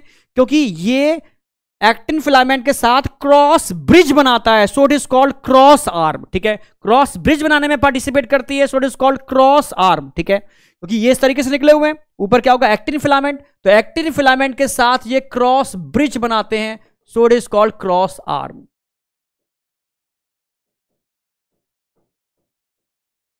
समझाने वाला हूँ क्रॉस ब्रिज कैसे बनाते हैं? So it is called cross arm तो क्रॉस आर्म का फॉर्मेशन शॉर्ट आर्म और ग्लोबुलर हेड के मिलने से होता है। Total two plus two equal to four unit होते हैं। हैवी है so it is called heavy meromyosin tail वाला पार्ट लाइट है so it is called light meromyosin total six polypeptide हो गए इसके अंदर। एक एक कंसेप्ट क्लियर होना चाहिए। तो यहाँ तक बेटा कोई बेटा कोई डाउट है या नहीं? यस या नो ठीक है? क्रिस्टल क्लियर है तो ओके करो। ठीक है? क्रिस्टल क्लियर है तो ओके करो बेटा। Yes sir sliding filament theory बस स्लाइडिंग फ्लैमेंट थ्योरी पर आ रहे हैं वही तो कंसेप्चुअल चीज़ है। तो ये बेसिक क्लियर कर लो देन अगेन हम स्लाइडिंग फ्लैमेंट थ्योरी पर आ रहे हैं ठीक है? ओके स्लाइडिंग फ्लैमेंट थ्योरी हाँ मैं समझ गया बेटा sliding filament theory okay okay okay okay तो यहाँ तक क्रिस्टल क्लियर है तो ओके करो। अगर क्रिस्टल क्लियर यहाँ तक है तो मुझे बताओ बेटा। यस yes, बेटा मैं ऑनलाइन हूँ लाइव हूँ आप ही को देख रहा हूँ आपके मैसेज भी देख रहा हूँ कंटिन्यू ठीक है? आपके रिस्पॉन्स भी देख रहा हूँ, ठीक है? आपका बूस्टिंग भी देख रहा हूँ मैं, सब कुछ देख रहा हूँ। बिल्कुल बेटा। ओके तो अब बात आती है स्ट्रक्चर ऑफ़ रेगुलेटिंग प्रोटीन ये बड़ा बढ़िया, दो क्वेश्चन बनते हैं जो हिडन है, और मैं पता है आप गलती करते ही करते हो, ठीक है? देखो, दो क्वेश्चन है भाई स्ट्रक्चर ऑफ़ रेगुलेटिंग प्रोटीन तो रेगुलेटिंग प्रोटीन में मैंने आपको दो नाम लिए थे। एक मिनट देख लो, उसके अंदर कोई क्वेश्चन आप गलती करोगे इसके में इसके बाद हम मैकेनिज्म पर ही आ रहे हैं। एक्चुअल में वही तो मैकेनिज्म समझने की है। और ये चीज़ और देख लो, बहुत इंपॉर्टेंट है। स्ट्रक्चर ऑफ़ रेगुलेटिंग प्रोटीन तो हमने बात की थी ट्रोपोनिन एंड ट्रोपोमायोसिन तो हम बात करते हैं ट्रोपोनिन ट्रोपोमायोसिन की बात कर लेते हैं। ट्रोपो मायोसिन ये भी रेगुलेशन का काम करती है। It is a part of thin filament फिर से लिख रहा हूँ मैं क्वेश्चन आया हुआ है। Part of thin filament. Thin filament का पार्ट है, ट्रोपोमायोसिन एंड ट्रोपोनिन। ट्रोपोनिन। अगर मैं ट्रोपोमायोसिन की बात करता हूँ तो स्ट्रक्चर में समझ समझ पा रहे होगे, ठीक है? ट्रोपोमायोसिन एक हेलिकल स्ट्रक्चर है, ठीक है? जो रन करता है एलोंग भाई किसके ऊपर? आप बोलोगे एक्टिन फिलामेंट ठीक है? जो पूरे एक्टिन फिलामेंट पर ये, ठीक है डबल हेलिकल स्ट्रक्चर है, जो एक्टिन फिलामेंट के ऊपर रन कर रहा है। कंप्लीट एंटायर ठीक है? और करता क्या है? भाई, नीचे क्या होगा? अब समझना मेरी बात? यहाँ पर नीचे इस तरीके से मीरोमायोसिन के हेड होंगे। यानी ये मायोसिन को एक्टिन से मिलने से रोकता है। ये समझने की कोशिश करना। समझ पाओ तो बहुत अच्छी बात है। ये एक्चुअल में अगर मैं फिलामेंट की बात करता हूँ जो फिलामेंट जो मैं इस पर रैप कर रहा हूँ तो ये जो फिलामेंट है बेटा, इस पर रैप किया है मैंने। तो ये क्या है? ट्रोपोमायोसिन का फिलामेंट है। जब तक ट्रोपोमायोसिन इस पर रैप्ड है, तब तक मीरोमायोसिन का हेड चाहकर के भी इससे इंटरेक्ट नहीं कर पाएगा। यानी इसका मेन फ़ंक्शन क्या हो गया? ये इनहिबिट करता है interaction of actin and myosin जब एक्टिन मायोसिन मिलेंगे, तभी तो कॉन्ट्रेक्शन स्टार्ट होगा। यानी कॉन्ट्रेक्शन मैकेनिज्म को इनहिबिट करने का काम करता है ये ट्रोपोमायोसिन का डबल हेलिकल स्ट्रक्चर तो ये रैप्ड होता है किसके ऊपर? आप बोलोगे ट्रोपोनिन के ऊपर रैप्ड होता है। एक्टिन फिलामेंट के ऊपर रन करता है एंटायर पूरा। स्ट्रक्चर देख रहा होगा। तो ये एंटायरली रन कर रहा है बेटा इसके ऊपर, ठीक है? आपको हमने ऑलरेडी दिखा भी दिया है। एंटायरली रन कर रहा है इसके ऊपर, ठीक है? तो इसमें कोई दिक्कत नहीं आनी चाहिए। एंटायरली रन कर रहा है इसके ऊपर और इनिबिट कर रहा है interaction of actin and myosin और एक्टिन और मायोसिन के इंटरेक्शन को इनिबिट करने के लिए रिस्पॉन्सिबल है। तो यही क्वेश्चन सबसे ज़्यादा पूछा जाता है कि ट्रोपोमायोसिन का मेन फ़ंक्शन क्या है? तो ट्रोपोमायोसिन इनिबिट करता है, ठीक है? ट्रोपोमायोसिन ये करता क्या? इनहिबिट अब मैं दो चीज़ें टर्म यूज़ करूँगा। एक मास्किंग टर्म यूज़ करूँगा, जैसे क्वेश्चन जो गलती हो, गलतियाँ होती हैं, ठीक है? Inhibit interaction of actin and myosin main याद रखना इनहिबिट इनको रोकने का काम करेगा। अब हम बात करते हैं ट्रोपोनिन अगर हम ट्रोपोनिन की बात करते हैं तो ट्रोपोनिन में दो बातें ध्यान रखनी है। ये कॉम्प्लेक्स प्रोटीन है।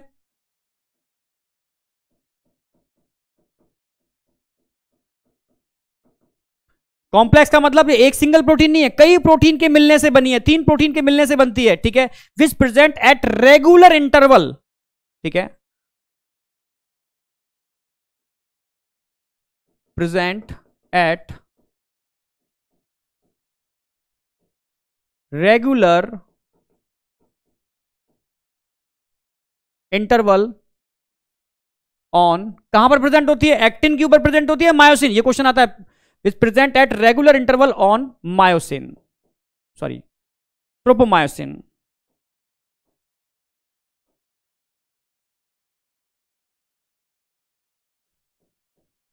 ट्रोपो ये मत भूल जाना, क्वेश्चन आएगा किसके ऊपर प्रेजेंट होती है? ट्रोपोमायोसिन के ऊपर प्रेजेंट होती है। एक्टिन के ऊपर प्रेजेंट नहीं होती, ट्रोपोनिन। अब ट्रोपोनिन की भी कितनी यूनिट्स नज़र आ रहे हैं आपको? थ्री यूनिट्स हैं यहाँ पर ट्रोपोनिन के। अगर हम तीनों यूनिट की बात करते हैं नंबर वन टीपीसी सी का मतलब हो गया, ऐसी ट्रोपोनिन जो कैल्शियम से बाइंड करती है। Calcium binding calcium binding troponin. एक होती है टीपी टीपीटी टीपीटी का मतलब हो गया ऐसी ट्रोपोनिन, समझना, जो ट्रोपोमायोसिन से बाइंड करती है। Tropomyosin binding troponin.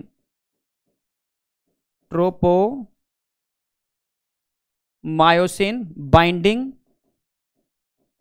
troponin. चलो, एक थर्ड जो होती है, जो बहुत इंपॉर्टेंट है टीपीआई आई मतलब इनहिबिशन। अब इस पर ध्यान रखना है क्वेश्चन कैसे बनेगा? ये क्या करती है? ये इनहिबिट करती है interaction of actin and myosin by masking अब टर्म आएगा बाय मास्किंग अब मास्किंग टर्म आएगा तो ट्रोपोनिन की बात आएगी, ठीक है? तो inhibit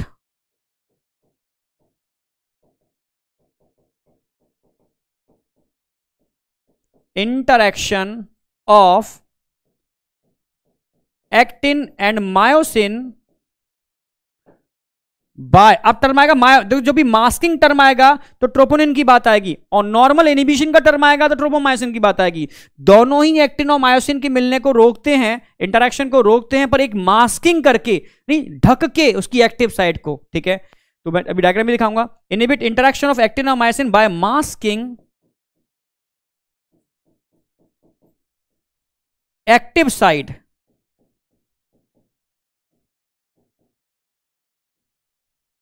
of actin actin की एक्टिव साइड की मास्किंग कर देती है टीपीआई जिसकी वजह से मायोसिन का इंटरेक्शन नहीं हो पाता।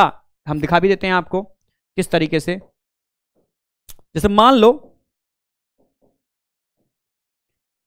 ये एक्टिन फिलामेंट है, ठीक है? इसकी ये एक्टिव साइट है एक्टिव साइट जब तक इस एक्टिव साइट से मायोसिन मतलब मायोसिन की यूनिट मीरो मायोसिन का हेड बाइंड नहीं करेगा कॉन्ट्रेक्शन नहीं होगा, ठीक है?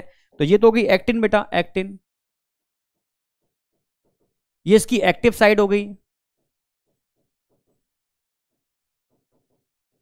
समझना। और इससे जुड़े होते हैं कौन बेटा? इससे जुड़ा होगा नंबर वन आप देख लो। नंबर वन तो जुड़ा होगा यहाँ पर। ये है ट्रोपोमायोसिन इसकी एक सिंगल यूनिट दिखा दे रहा हूँ ट्रोपोमायोसिन और ट्रोपोमायोसिन से जुड़े होते हैं क्या? तीन। एक तो टीपी टी एक टीपी सी कैल्शियम जिससे बाइंड करेगा। एक टीपी आई आई यानी ये मास्किंग कर ली। ढक लिया इसकी एक्टिव साइट को मास्किंग कर ली। एक्टिव साइट की जो मास्किंग कर रहा है, और नीचे इंतज़ार कौन कर रही है? ये ट्रोपोमायोसिन का हेड जब तक ट्रोपोमायोसिन बोल गया मायोसिन का हेड मीरोमायोसिन तो ये तो है बेटा मीरोमायोसिन मीरो मायोसिन ठीक है? ये एक्टिन और एक्सी एक्टिव साइड ये क्या है? ये आपको समझ ही गए होगे। ट्रोपोमायोसिन ट्रोपो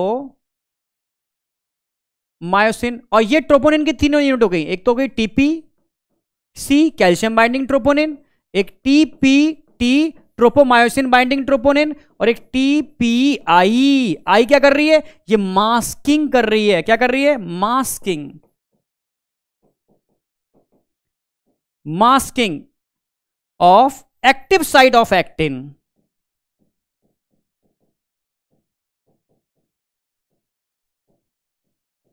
ये एक्टिन की एक्टिव साइट की मास्किंग कर रही है। तो पोजीशन समझ में आई होगी कि किस तरीके से अरेंज है। क्वेश्चन यहाँ मिलता है और गलतियाँ होती हैं। तो समझ में आ गया होगा ये बेटा तीनों यूनिट किस तरीके से अरेंज है। यहाँ तक कोई डाउट नहीं होने चाहिए। ट्रोपोमायोसिन ट्रोपोमायोसिन रेगुलर इंटरवल पर अरेंज है। ट्रोपो ट्रोपोनिन और ट्रोपोनिन किसके ऊपर है? अटैच है। ट्रोपोमायोसिन के ऊपर अटैच है। और ये एफ़ एक्टिन दो एफ़ एक्टिन के मिलने से प्रॉपर एक्टिन फिलामेंट का फॉर्मेशन होता है। तो यहाँ तक बेटा कोई डाउट है? ओके ओके, कोई डाउट नहीं, ठीक है? तो एक एक कंसेप्ट यहाँ क्लियर हो जाएगा, मुझे लगता नहीं कोई डाउट आना चाहिए। अब एक्चुअल में इसकी असली मैकेनिज्म आती है, ठीक है? स्लाइडिंग मैकेनिज्म थ्योरी ठीक है? इसमें ध्यान आपको यह रखना है, इस थ्योरी के ऊपर कि यहाँ पर ऑलवेज एक्टिन फिलामेंट स्लाइड करते हैं मायोसिन के ऊपर। अब पूरा फोकस करना, एक एक चीज़ कंसेप्ट समझना है। यहाँ समझने वाले कंसेप्ट आएँगे सारे के सारे। तो अकॉर्डिंग टू दिस थ्योरी ठीक है, ध्यान रखना muscle fibre take place by the sliding of यहाँ क्या हो रहा है? Sliding of thin filament over thick filament ये ध्यान रखना है इस पर क्वेश्चन बनता है। ऑलवेज एक्टिन फिलामेंट स्लाइड करते हैं मायोसिन के ऊपर। कभी भी मायोसिन स्लाइड नहीं करते एक्टिन के ऊपर। ऑलवेज एक्टिन की स्लाइडिंग होती है, मायोसिन के ऊपर। मायोसिन की नहीं होती। अब मैं बिल्कुल एकदम इनिशियल स्टार्टिंग से ले रहा हूँ कनेक्ट करता हुआ आगे बढ़ रहा हूँ इस थ्योरी को। अब समझना, पूरा एकदम फोकस करके। हम स्टार्ट करेंगे इसको न्यूरोमस्कुलर जंक्शन ठीक है? मोटर एंड प्लेट से बात करते हैं इसको, वहाँ से स्टार्ट करेंगे और स्टेप बाय स्टेप जोड़ते चले जाएँगे पूरे कॉन्ट्रेक्शन की मैकेनिज्म को। सबसे पहले हम बात करते हैं न्यूरोमस्कुलर जंक्शन ये है सेंट्रल नर्वस सिस्टम सीएनएस और सीएनएस से जो न्यूरॉन होते हैं बेटा, जो न्यूरोमस्कुलर जंक्शन में एक ही टाइप के न्यूरॉन मिलते हैं ऑलवेज मोटर मोटर न्यूरॉन तो यहाँ से ओरिजिनेट ओरिजिनेशन होगा मोटर न्यूरॉन का।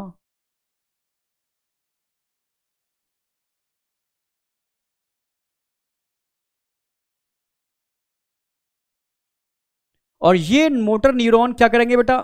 ये मोटर न्यूरॉन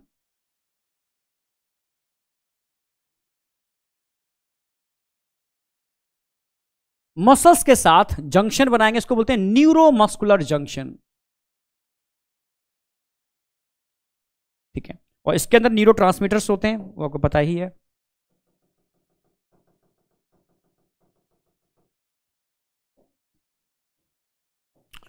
ठीक है? तो ये हो गए बेटा मोटर न्यूरॉन।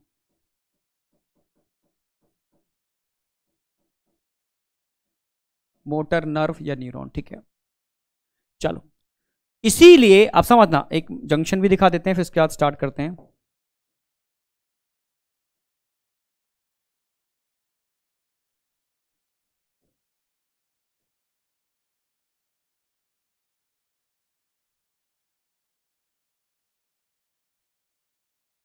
टीटीब्यूल टीटीब्यूल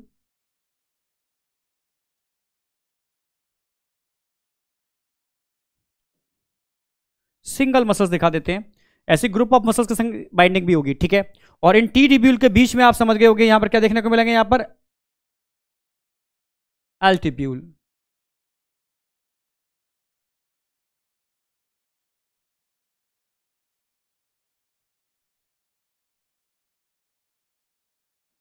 ठीक है? और यहाँ अगर हम बात करते हैं तो यहाँ आपको मिलेंगे कैल्शियम चैनल्स और खास टाइप के प्रोटीन भी देखने को मिलेंगे जो कैल्शियम पंप का काम करते हैं, ठीक है? ये जो जंक्शन दिखा रहे हैं बेटा, ये है यहाँ से यहाँ तक neuromuscular junction. It is also called motor end plate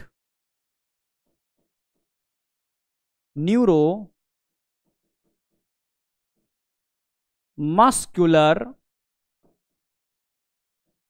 junction या इसी को बोलते हैं मोटर एंड प्लेट। अब समझना, मोटर एंड प्लेट क्या है? चलो, इसके अंदर कौन होता है बेटा? कैल्शियम आयन सार्को एसआर सार्कोप्लास्मिक रेटिकुलम, ठीक है? और यहाँ पर फाइबर्स है। अंदर क्या है? सारे सारे फाइबर्स सार्को प्लाज्म के अंदर फाइबर्स हैं। इनको मायोफाइब्रिल बोलते हैं। मायोफाइब्रिल और इन मायोफाइब्रिल में जेड लाइंस बने हुए हैं। लाइट एंड डार्क बैंड है इसके अंदर, आप जानते ही हो। और इन का कनेक्शन किससे ये क्लियर ही है आपको। और यहाँ पर कितने टाइप के यूनिट देखने को मिलेंगे? यहाँ देखने को मिलेंगे आपको ट्रोपोनिन एक ही यूनिट दिखा रहा उससे हमारा काम है। TPC TPC calcium binding troponin सारा मैकेनिज्म इसी पर डिपेंड है। तो अब एक एक करके मैकेनिज्म समझना। अच्छा बेसिक बात तो, तो लिख दूँ मैं। ये जो दिख रही है आपको बेटा ये सार्कोलेमा सार्को लेमा इसके अंदर जो लिक्विड होगा वो क्या होगा? सार्कोप्लाज्म सार्को प्लाज्म जो अंदर स्ट्रक्चर दिख रहा है क्या है बेटा?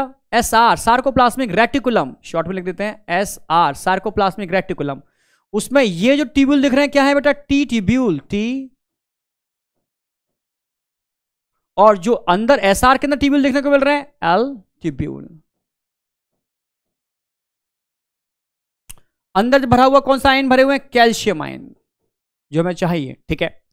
यहाँ हमें रिसेप्टर भी दिखाने होंगे। समझ गए? ये सारे सारे सोडियम चैनल्स हैं, या न्यूरो के रिसेप्टर्स भी बोल सकते हो, ठीक है? जहाँ पर न्यूरो की बाइंडिंग होगी। ओके, कलर चेंज कर देते हैं।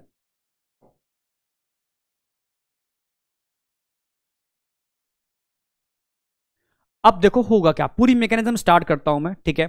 सबसे पहले बेटा सेंट्रल नर्वस सिस्टम ध्यान रखना न्यूरो मस्कुलर जंक्शन या मोटर एंड प्लेट के अंदर ओनली और ओनली मोटर न्यूरॉन होते हैं, ठीक है? सेंसरी न्यूरॉन नहीं होते ओनली मोटर न्यूरॉन ठीक है? जो सेंट्रल नर्वस सिस्टम से सिग्नल को लेके कहाँ आएँगे? मोटर न्यूरोमस्कुलर जंक्शन या मोटर एंड प्लेट पर लाएँगे। सिग्नल किस फॉर्म में आएगा? डीपोलराइजेशन की फॉर्म में। तो क्या हो रहा है? डी पोलराई जेशन ये डीपोलराइजेशन सिग्नल यहाँ से स्टार्ट होगा। चार्ज की फॉर्म में कहाँ आएगा? इसके टर्मिनल वाले पार्ट में।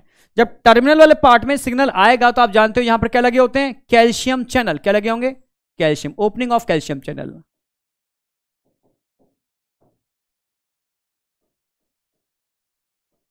opening होगी बेटा opening of calcium channel calcium channel क्योंकि ये कैसे चैनल है? आप जानते हो voltage opening of calcium channel. जो सी वोल्टेज गेटेड चैनल है। तो सिग्नल जब यहाँ पहुंचेगा तो कैल्शियम चैनल ओपन हो जाएँगे और कैल्शियम चैनल ओपन होंगे तो क्या होगा? ये कैल्शियम आयन बाहर से अंदर आएँगे। और ये कैल्शियम आयन बाहर से अंदर आएँगे, कैल्शियम आयन तो क्या काम कराएँगे? ये कराएँगे एक्सोसाइटोसिस ये क्या हो रही है? ये हो रही है एक्सोसाइटोसिस ये हो रही है एक्सोसाइटोसिस एक्सोसाइटोसिस न्यूरोट्रांसमीटर की एक्सोसाइटोसिस हो रही है और ये न्यूरोट्रांसमीटर कहाँ आएँगे? न्यूरोमस्कुलर जंक्शन में। न्यूरोमस्कुलर जंक्शन में। बिल्कुल समझना आराम से कोई जल्दीबाजी नहीं है मैं दो, एक दो बार और समझाऊँगा उसको दिमाग में सेट हो जाए।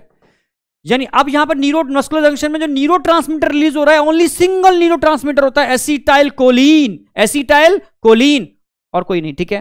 तो यहाँ पर जो न्यूरो ट्रांसमीटर होगा बेटा वो कौन सा होगा? एसिटाइल कोलिन इसको एसीएस से रिप्रेजेंट करते हैं।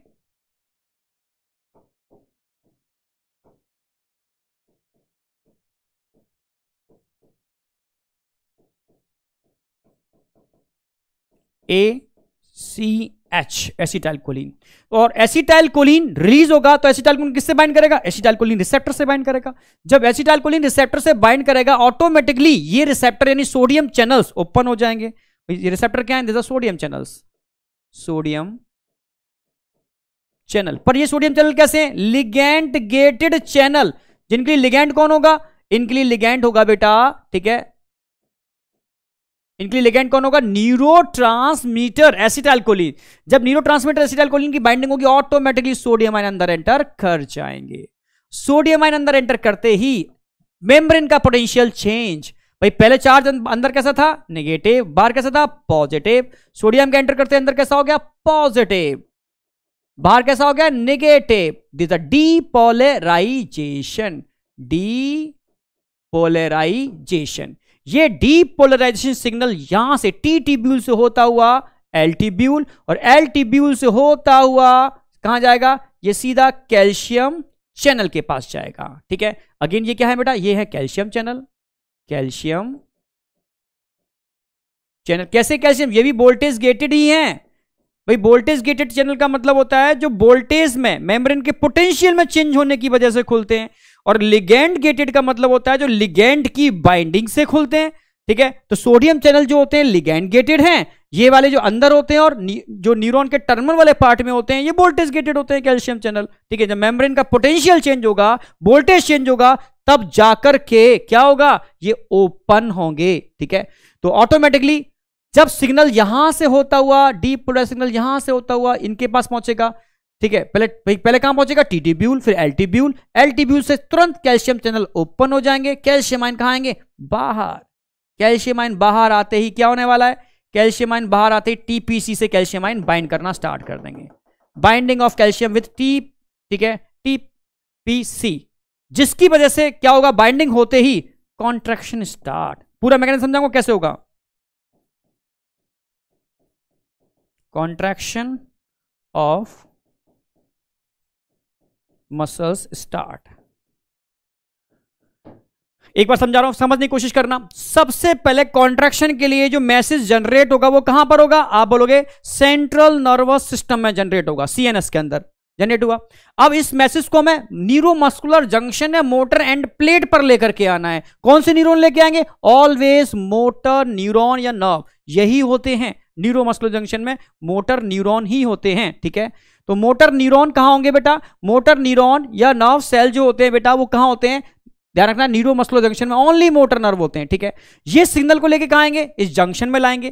तो सिग्नल जब इनके टर्मिनल वाले पार्ट में आएगा तो कैल्शियम चैनल खुल जाएँगे। स्टेप बाय स्टेप में लिख रहा हूँ। स्टेप भी लिख देते आ रहे हैं। इससे आपको बहुत अच्छे से क्लियर हो जाएगा।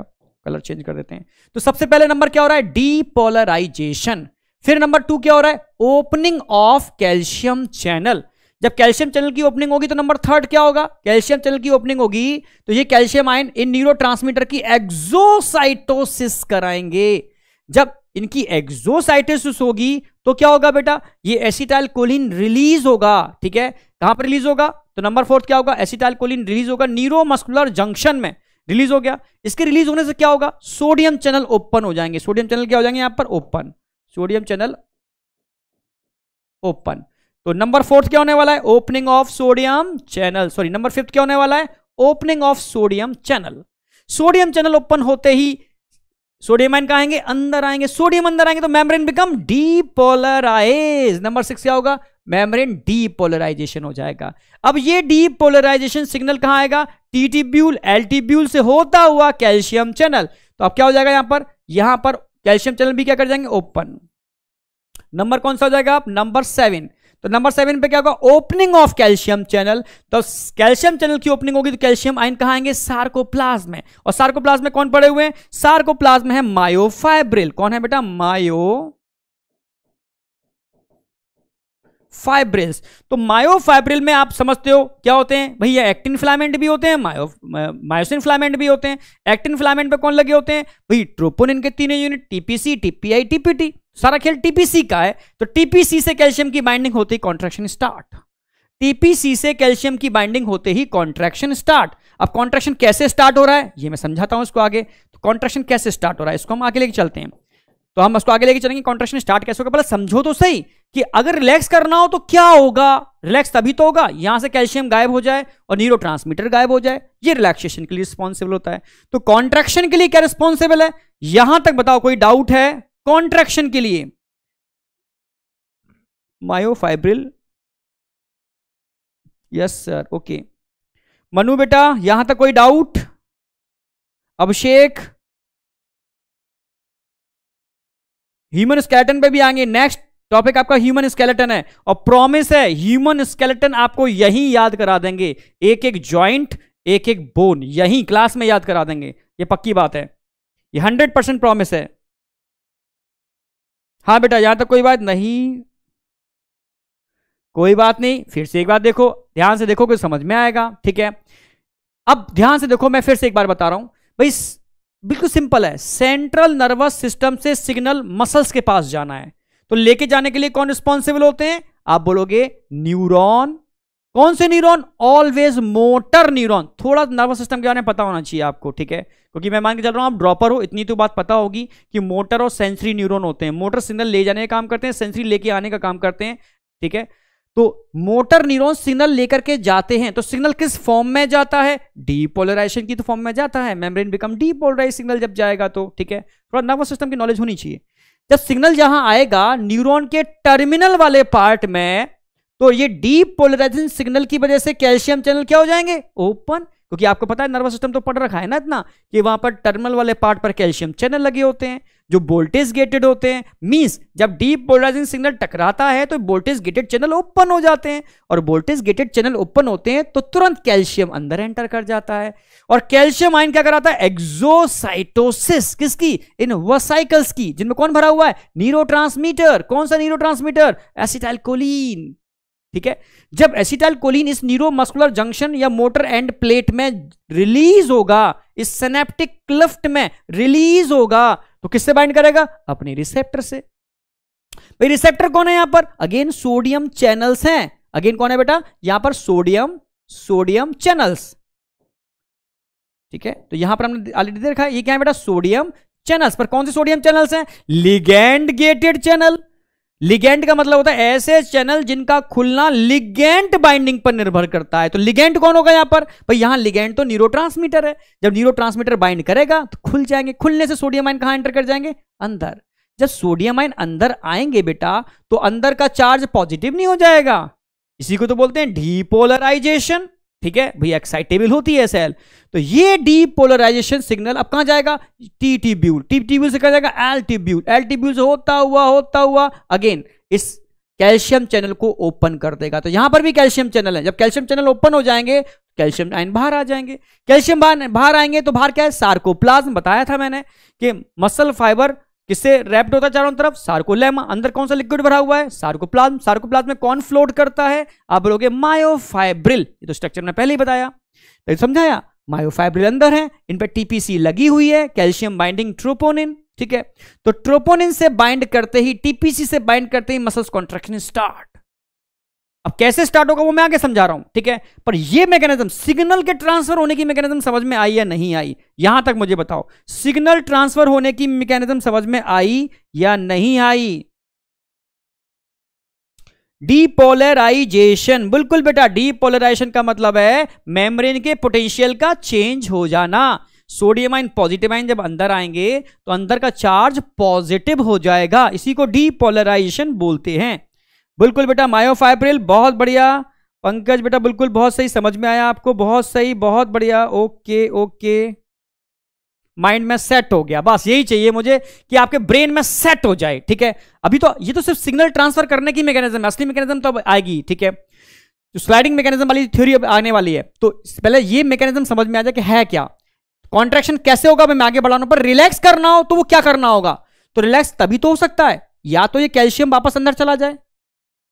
तब फाइबर रिलैक्स कंडीशन में आएँगे। और सिग्नल यहाँ से आना बंद हो मीस एसिटाइल कोलिन यहाँ से गायब हो जाए। तो अब रिलैक्सेशन के लिए दो मैकेनिज्म होते हैं। क्या क्या नंबर वन नंबर वन क्या होगा? भाई, इस एसिटाइल कोलिन का यहाँ से गायब होना। तो इसको ब्रेक करने के लिए यहाँ पर अगेन एक एंजाइम होता है, यहाँ पर लगा होता है। इसको बोलते हैं acetyl choline esterase post note पर लगा होता है। इसको बोलते हैं acetyl choline esterase enzyme acetyl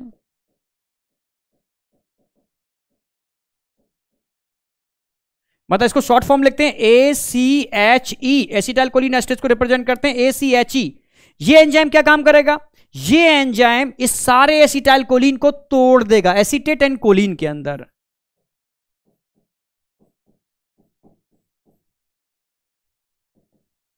acetate और कोलिन में ब्रेक होते ही सिग्नल आना यहाँ से क्या हो गया? बंद हो गया, पहला काम। दूसरा काम क्या होगा? भाई ये ये दिख रहे हैं आपको, ये इनको बोलते हैं कैल्शियम पंप ये एक्टिव हो जाएँगे और सारे कैल्शियम को अंदर पहुँचा देंगे। यानी कैल्शियम पंप का एक्टिवेशन तो यहाँ क्या कर दिखाने वाले हम? Activation of calcium pump activation of calcium pump वही पंप है एनर्जी यूज़ करेगा बेटा। जहाँ भी पंप टर्म आ गया तो एनर्जी यूज़ करेगा। तो ये पंप सारे कैल्शियम को कहाँ पहुंचाएगा? अंदर पहुंचाएगा। पंप क्या काम करेगा? कैल्शियम को अंदर पहुंचाएगा। न्यूरो का ब्रेकडाउन हो जाएगा बाय एसिटाइल कोलिन एस्ट्रेस यानी यहाँ से भी सिग्नल आना बंद कैल्शियम भी अंदर चला गया। जब कैल्शियम अंदर जाएगा तो अगेन मसल्स क्या हो जाएगी? रिलैक्स अगर आपसे पूछेगा during relaxation muscles relaxation which of the following mechanism responsible for relaxation of muscles तो दो ही मैकेनिज्म है। एक तो break down of acetylcholine with the help of acetylcholinesterase दूसरा एक्टिवेशन ऑफ़ कैल्शियम पंप जो कैल्शियम को वापस एसआर के अंदर सार्कोप्लाज्मिक रेटिकुलम के अंदर पहुंचाएगा। बस, ये है during relaxation during relaxation relaxation के टाइम पर क्या होगा? जब मसल्स रिलैक्स करेगी activation of calcium pump and break down of acetylcholine और ओनली सिंगल न्यूरोट्रांसमीटर होता है एसिटाइल कोलिन अब बताओ, ये मैकेनिज्म क्लियर हुई या नहीं हुई? क्रिस्टल क्लियर है माइंड में सेट हो गई है तो मुझे बताना होगा बेटा क्रिस्टल क्लियर है या माइंड में सेट हुई है नहीं हुई? यस सर जो बच्चा ध्यान से समझ रहा होगा उसको 100 परसेंट क्लियर होगी, ठीक है? क्योंकि मैंने स्टेप भी लिख दिए हैं। Number one depolarization number two neuro opening of calcium channel number three exocytosis of transmitter number four, ये न्यूरो ट्रांसमीटर कौन सा है? एक्सीटाइल कोलिन इसका रिलीज़ होना। नंबर फाइव, इसकी वजह से बाइंडिंग होगी और सोडियम चैनल ओपन हो जाएँगे। सोडियम चैनल ओपन हो जाएँगे तो नंबर सिक्स क्या होगा? सोडियम आयन की एंट्री होगी। यानी सॉरी सोडियम आयन की एंट्री होगी तो क्या होगा? डीपोलराइजेशन ऑफ़ मेम्ब्रेन हो जाएगा। ये डीपोलराइजेशन सिग्नल टी और एल टीब्यूल से होता हुआ कैल्शियम चैनल के पास आएगा। कैल्शियम चैनल खुल जाएँगे। नंबर सेवन कैल्शियम चैनल की ओपनिंग होगी। कैल्शियम आयन बाहर आएँगे। जब कैल्शियम आयन बाहर आएँगे नंबर सेवन पर तो क्या होगा? Last number eight number eight पर होगा टीपीसी से कैल्शियम की बाइंडिंग जो क्या करने वाली? Number nine contraction of muscles तो स्टेप भी समझ में, अगर स्टेप से भी देख लोगे तो भी समझ में आ जाएगा, ठीक है? इतना तो हर बच्चे की समझ में आ जाएगा। और रिलैक्स करने के लिए क्या करना है? कंसेप्ट भाई कैल्शियम को वापस अंदर और न्यूरो को ब्रेक डाउन भाई ब्रेक कर दिया कैल्शियम को अंदर कर दिया रिलैक्सेशन तो यहाँ तक एकदम क्लियर होना चाहिए। ओके सर ब्रेन में सेट है। यस यस यस ठीक है?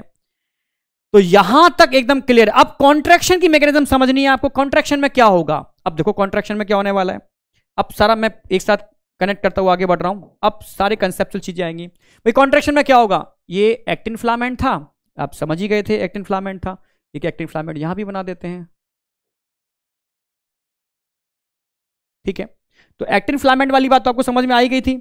एक्टिन फ्लामेंट की आप जमा समझते हो, एक एक्टिव साइड भी होती है। ये एक्टिव साइड है एक्टिन फ्लामेंट की। एक्टिन फ्लामेंट से किसकी बाइंडिंग होती है? ये आप जानते हो। एक्टिन फ्लामेंट से बाइंडिंग होती है ट्रोपोमायोसिन की। और ट्रोपोमायोसिन से बाइंडिंग किसकी होती है? ट्रोपोमायोसिन से आप जानते हो? टीपी टी की बाइंडिंग होती है। और टीपी टी से टीपी सी की बाइंडिंग होती है। और यहाँ पर टीपीआई जो इसकी एक्टिव साइड की क्या कर रही है? मास्किंग कर रही है। ढक रही है। मास्क लगा दिया। इस वजह से क्या होगा? इस वजह से कभी भी मीरोमायोसिन का हेड एक्टिन के साथ क्रॉस ब्रिज नहीं बना पाएगा। ठीक है, ये मीरोमायोसिन का हेड है। और मीरोमायोसिन में आप जानते हो, ये एक एक्टिव साइड होती है मीरोमायोसिन की। एक्टिन बाइंडिंग एक्टिव साइड, इसकी ग्लोबुलर हेड पर होती है। इसके अलावा यहाँ पर एटी पेज बाइंडिंग साइड भी होती है। ए टी पेज, जिस पर क्या क्या जुड़ा हुआ होगा? यहाँ पर एडनोसिन ट्राइफॉस्फेट जुड़ा हुआ होगा। ठीक है, मीरोमायोसिन के अंदर। तो ये तो हो गया एक्टिन। मैं बता चुका हूँ आपको। एक्टिन, ठीक है, ये ट्रोपोमायोसिन समझा चुका हूँ मैं आपको। ट्रोपो मायोसिन ये ट्रोपोनिन की तीनों यूनिट हो गई टीपीटी टीपीसी और टीपीआई तीनों यूनिट हैं आई इनहिबिट कर रही है, यानी ये क्या है, भाई, मायोसिन बोल सकते हो या मीरोमायोसिन का हेड मीरो,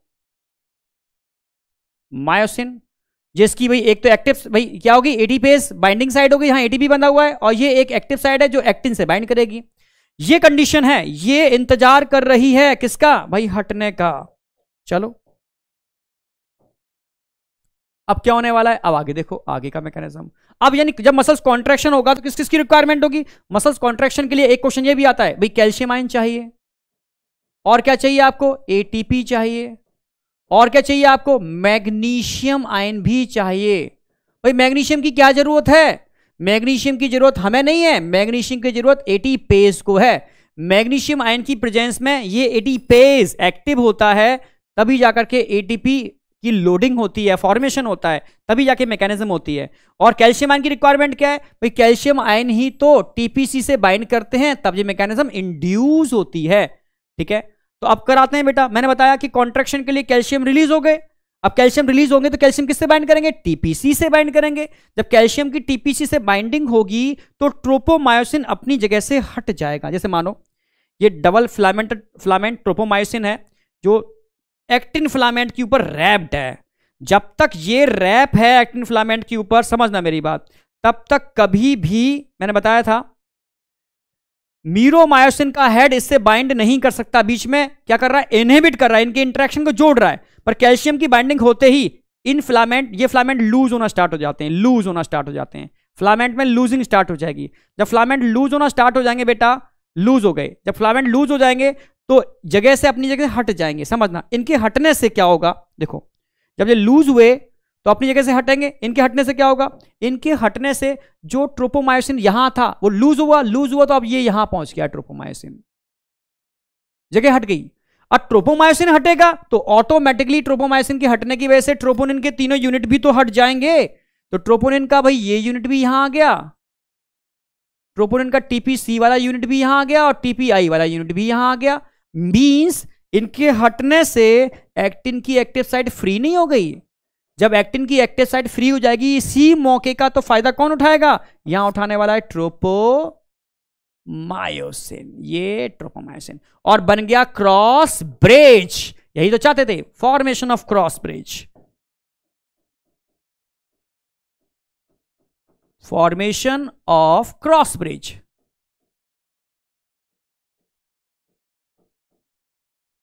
बस, क्रॉस ब्रिज बनते ही क्या होगा? यहाँ पर जो एडनोसिन ट्राइफॉस्फेट था ए ए टी पी तुरंत इसका ब्रेक डाउन होगा। भाई क्रॉस ब्रिज बनेगा, पहले ब्रेक होगा, फिर बनेगा। इस पूरी मैकेनिज्म के अंदर समझाऊँगा आगे एक एटीपी यूटिलाइज होती है। इसका टूटेगा एडनोसिन डाइफॉस्फेट प्लस फॉस्फेट के अंदर। पर ऐसा ही नहीं है, ये टूटी गया। इसको अगेन फिर वापस एटीपी को लोड करना है। फिर यह मैकेनिज्म चलती रहती है, पर इसके लिए चाहिए हाई एनर्जी फॉस्फेट तो यहाँ से मसल्स को जो एनर्जी प्रोवाइड कराता है, वो है high energy phosphate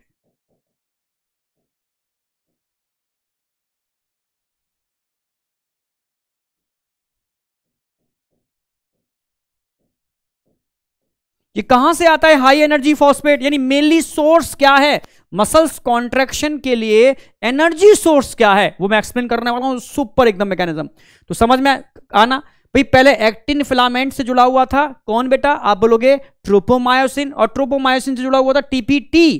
tropomyosin binding troponin, और उससे जोड़ते हैं टीपीसी और टीपीआई।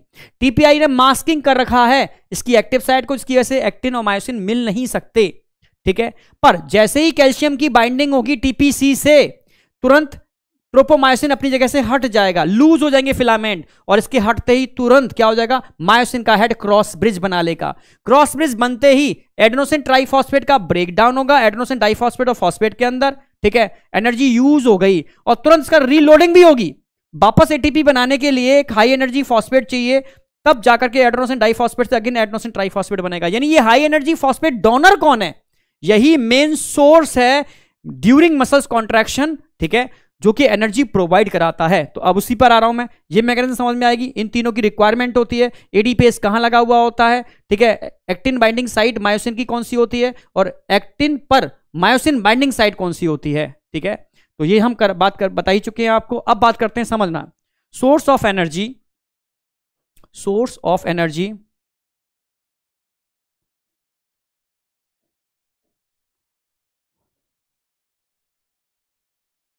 अब सारे इंपॉर्टेंट चीज़ें चलने वाली हैं। अब जो भी मैं बता रहा हूँ, वो सब वो चीज़ें हैं जो आपके कंफ्यूजन होते हैं। Source of energy during muscles contraction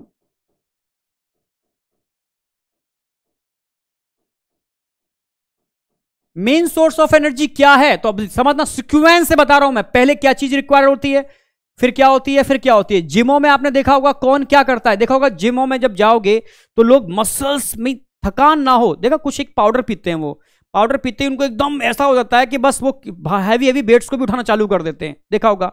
तो पूछोगे वो क्या पी रहे हैं? तो वो पूछेंगे, वो कहेंगे कि ये पीने से एकदम बॉडी में घोड़े सी ताकत आ जाती है। यानी आपके मसल्स को एनर्जी प्रोवाइडर ठीक है, उसमें एक्चुअल में, ठीक है क्रेटेनिन फॉस्फेट होता है। जो एडिशनली बस बॉडी के अंदर बनता है वो, पर आप एडिशनली बॉडी को प्रोवाइड कराते हो बाहर से। जो मेन एनर्जी प्रोवाइडर है ड्यूरिंग मसल्स कॉन्ट्रैक्शन ठीक है? तो मैं वही समझा रहा हूँ मैं। तो अब number one first energy source क्या है? एक एक करके समझा रहा हूँ। तभी तो कहते हैं, पर वो एक डेंजरस चीज़ है, ध्यान रखना, वो आप एडिशनली अगर खाओगे तो एक डेंजरस प्रोडक्ट बनता है जो किडनी इसको हंड्रेड परसेंट एलिमिनेट करती है। उसका अमाउंट बॉडी में बढ़ जाता है किडनी पर लोड बढ़ता है किडनी फेलियर की प्रोबेबिलिटी बढ़ जाती है। तो उन लोगों को पता नहीं होता, वो जो भी आर्टिफिशियल चीज़ें खा रहे हैं, जिससे बॉडी पर क्या क्या साइड इफ़ेक्ट होने वाले हैं। तो बुढ़ापा बहुत गंदा होता है उनका, ठीक है? किडनी फेलियर के चांस बढ़ जाते हैं उस, ठीक है? उस लाइक डिफरेंट टाइप के सब्सटेंस को लेने में स्टेरॉइड्स को लेने में, जो मैंने बताया एनर्जी का सोर्स है, उसको लेने में। तो वो क्या क्या प्रॉब्लम आती हैं उनके केस में? मैं उन्हीं के बारे में सारी डिस्कस करने वाला हूँ। पहले स्टेप बाय स्टेप चल रहे हैं। फ़र्स्ट एनर्जी सोर्स क्या है? First energy source first source second source क्या होगा? पहले फ़र्स्ट की बात करते हैं।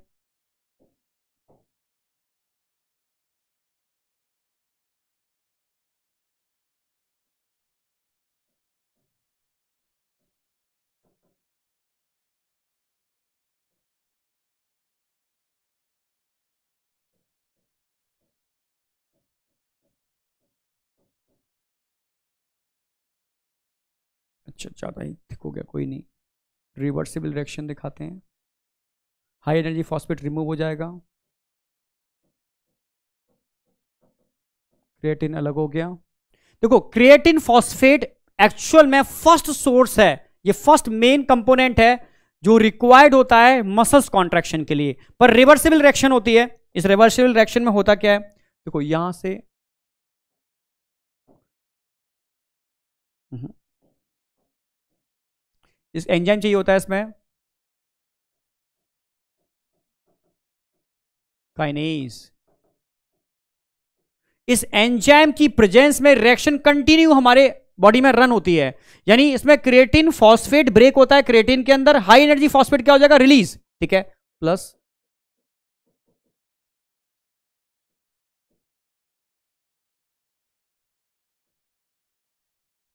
high energy phosphate high energy phosphate release होता है जो यूटिलाइज करती है मसल्स ड्यूरिंग कॉन्ट्रैक्शन तो समझना कि हमारी बॉडी में मसल्स में कंटिन्यू कंटिन्यू क्रिटिन फॉस्फेट का ब्रेकडाउन होता है क्रिटिन के अंदर. फिर अगेन ये फिर कन्वर्ट होता है इसके अंदर विद द हेल्प ऑफ़ ठीक है क्रिएटिन काइनेज तो इसमें बनने के लिए एटीपी चाहिए होती है ब्रेक होता है तो हाई एनर्जी एटीपी की रिक्वायरमेंट होती है. ये मैकेनिज्म चलती रहती है ऑलवेज जो मसल्स में फ़र्स्ट एनर्जी प्रोवाइडर है फ़र्स्ट सोर्स ऑफ़ एनर्जी पर जब ये मैकेनिज्म रन होती है बेटा तो इस मैकेनिज्म के टाइम पर एक प्रोडक्ट बनता है द डेंजरस प्रोडक्ट जिसको किडनी 100 परसेंट एलिमिनेट करती है नॉन एंजाइमेटिकल रिएक्शन के थ्रू बनता है। इसको बोलते हैं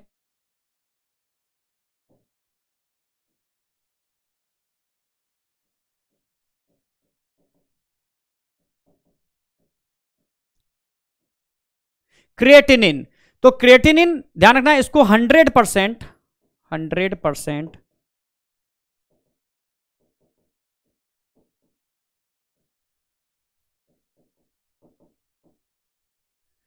kidneys को 100 परसेंट एलिमिनेट करती है। अगर किसी की बॉडी के अंदर क्रिटेनिन देखने को मिल रहा है मतलब उसकी किडनी प्रॉपर काम नहीं कर रही, क्योंकि किडनी इसको 100 परसेंट एलिमिनेट करेगी। ध्यान रखना तो मसल्स के अंदर मेन एनर्जी जो सोर्स होता है, वो कौन होता है? वो होता है क्रिटेनिन ठीक है? Creatine phosphate main energy source creatine phosphate, जो कंटिन्यू हाई एनर्जी फॉस्फेट को रिलीज़ करने का काम करता है, ठीक है? मसल्स में एनर्जी प्रोवाइडर है। बाहर से जो लोग लेते हैं तो उनके अंदर इस क्रिटेनिन का अमाउंट बढ़ जाता है, जिसकी वजह से किडनी तो उसको 100 परसेंट एलिमिनेट करेगी। तो किडनी पर लोड भी बढ़ जाएगा और किडनी पर अगर लोड बढ़ जाएगा तो किडनी फेलियर की प्रोबेबिलिटी बढ़ जाएगी। तो ध्यान रखना नॉन एंजाइमेटिकल प्रोसेस के थ्रू इसका ऑलवेज फॉर्मेशन होता है। मसल्स में already energy first energy provider यही है। जब ये खत्म हो जाएगा, तब सेकंड नंबर किसका आएगा? एनारोबिक रेस्पायरेशन जब लैक्टिक एसिड का डिपोजिशन होता है।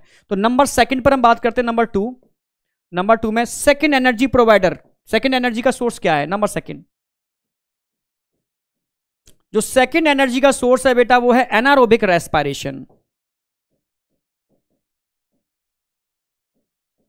एनारोबिक और जब भी एनारोबिक रेस्पायरेशन होगा तो क्या होगा? आप समझते हो formation of lactic acid formation of lactic acid और इसको भी कन्वर्ट करने के लिए कोरी साइकिल चलती है, पर वो आउट ऑफ़ एनसीआरटी बहुत ज़्यादा हो जाएगा, हम उधर नहीं जाएँगे। जहाँ से क्वेश्चन बनते हैं, वो सारी बात कर रहे हैं। फॉर्मेशन ऑफ़ लैक्टिक एसिड कब होता है? जब एनारोबिक रेस्पिरेशन होता है। एनारोबिक रेस्पिरेशन कब होता है? जब आप कंटिन्यू कंटिन्यू आप एक्सरसाइज करे जा रहे हो यानी आपका जो क्रिटिन फॉस्फेट है, वो खत्म हो चुका है, तब जाकर के एनारोबिक रेस्पिरेशन होगा। पर अगर आप एथलीट्स हो, आपके मसल्स में रेड मसल्स फाइबर भरे भरे हुए हैं बेटा तो एनारोबिक रेस्पिरेशन नहीं होगा। तब नंबर थर्ड केस आएगा aerobic respiration in case of red muscles fiber number third case क्या आएगा? Third energy source third energy source क्या होगा बेटा? Aerobic respiration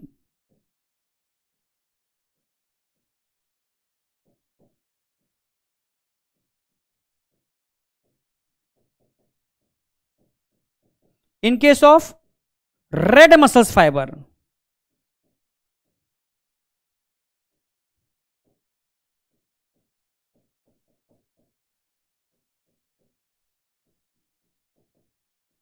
आप एथलीट्स हो, आपके बॉडी में भाई हमारे लिम्स मसल्स में व्हाइट और रेड दोनों होते हैं।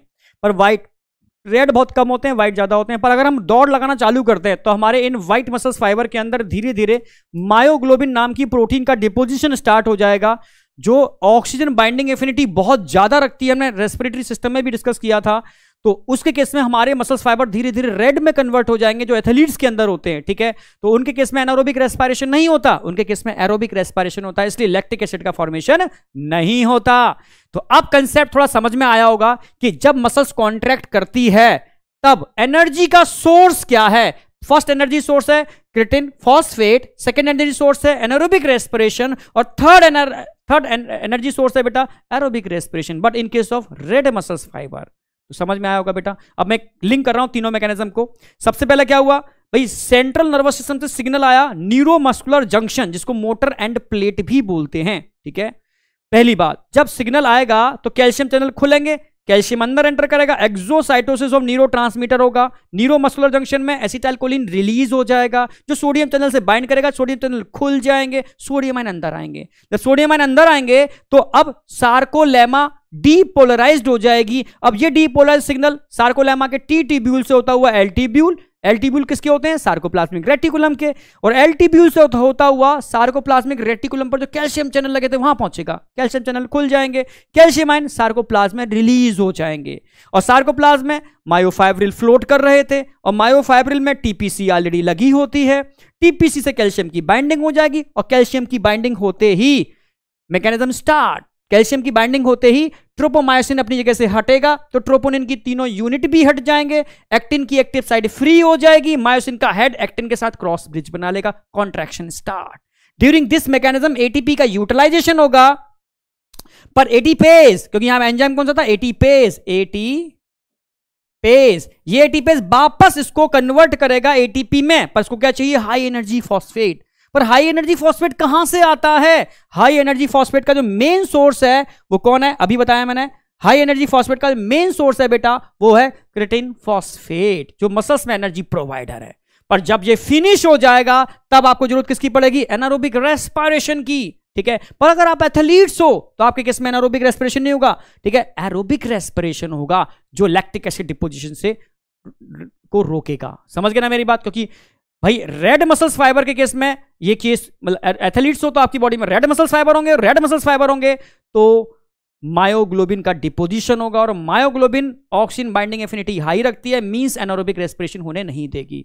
तो अब एक एक सिक्वेंस लिंक्ड करके समझ में आई होगी, तब समझ में क्लियर किया एक्चुअल में है। अब लास्ट में एनसीआरटी का डायग्राम बता रहा हूँ कि एक्चुअल में ये जो मैकेनिज्म हुई, एक सिंगल स्टेप बताया। अब किस तरीके से मसल स्लाइड करेंगे? यहाँ आकर के एकदम एंडिंग हो जाएगी आपकी सुपर तरीके से, ठीक है? तो यहाँ तक तो समझ में आया होगा बेटा, अगर समझ में आया तो ओके करो।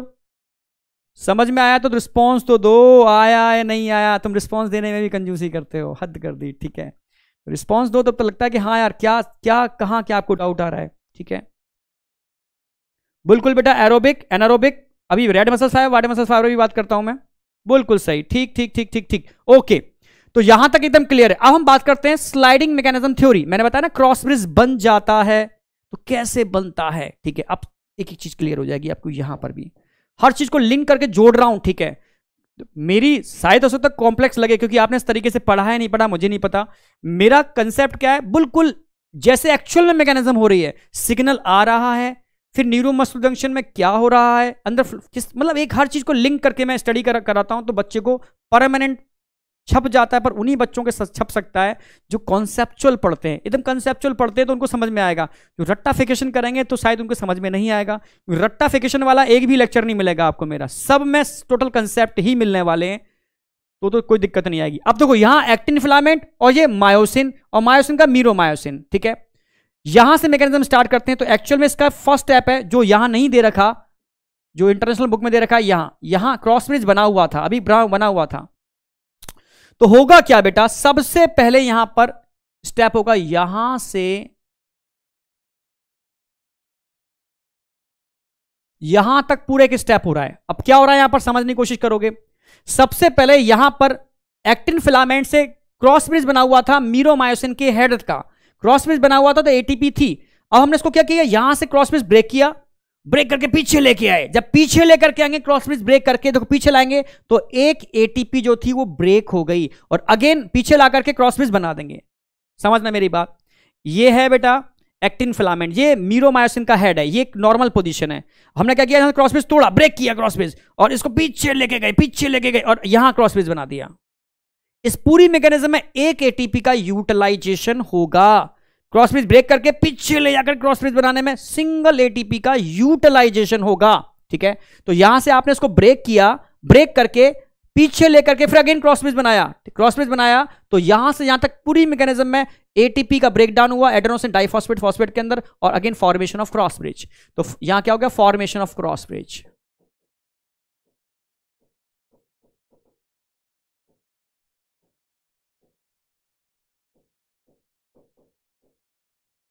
cross bridge formation में यहाँ से यहाँ तक सिंगल एटीपी का यूटिलाइजेशन हुआ, ठीक है?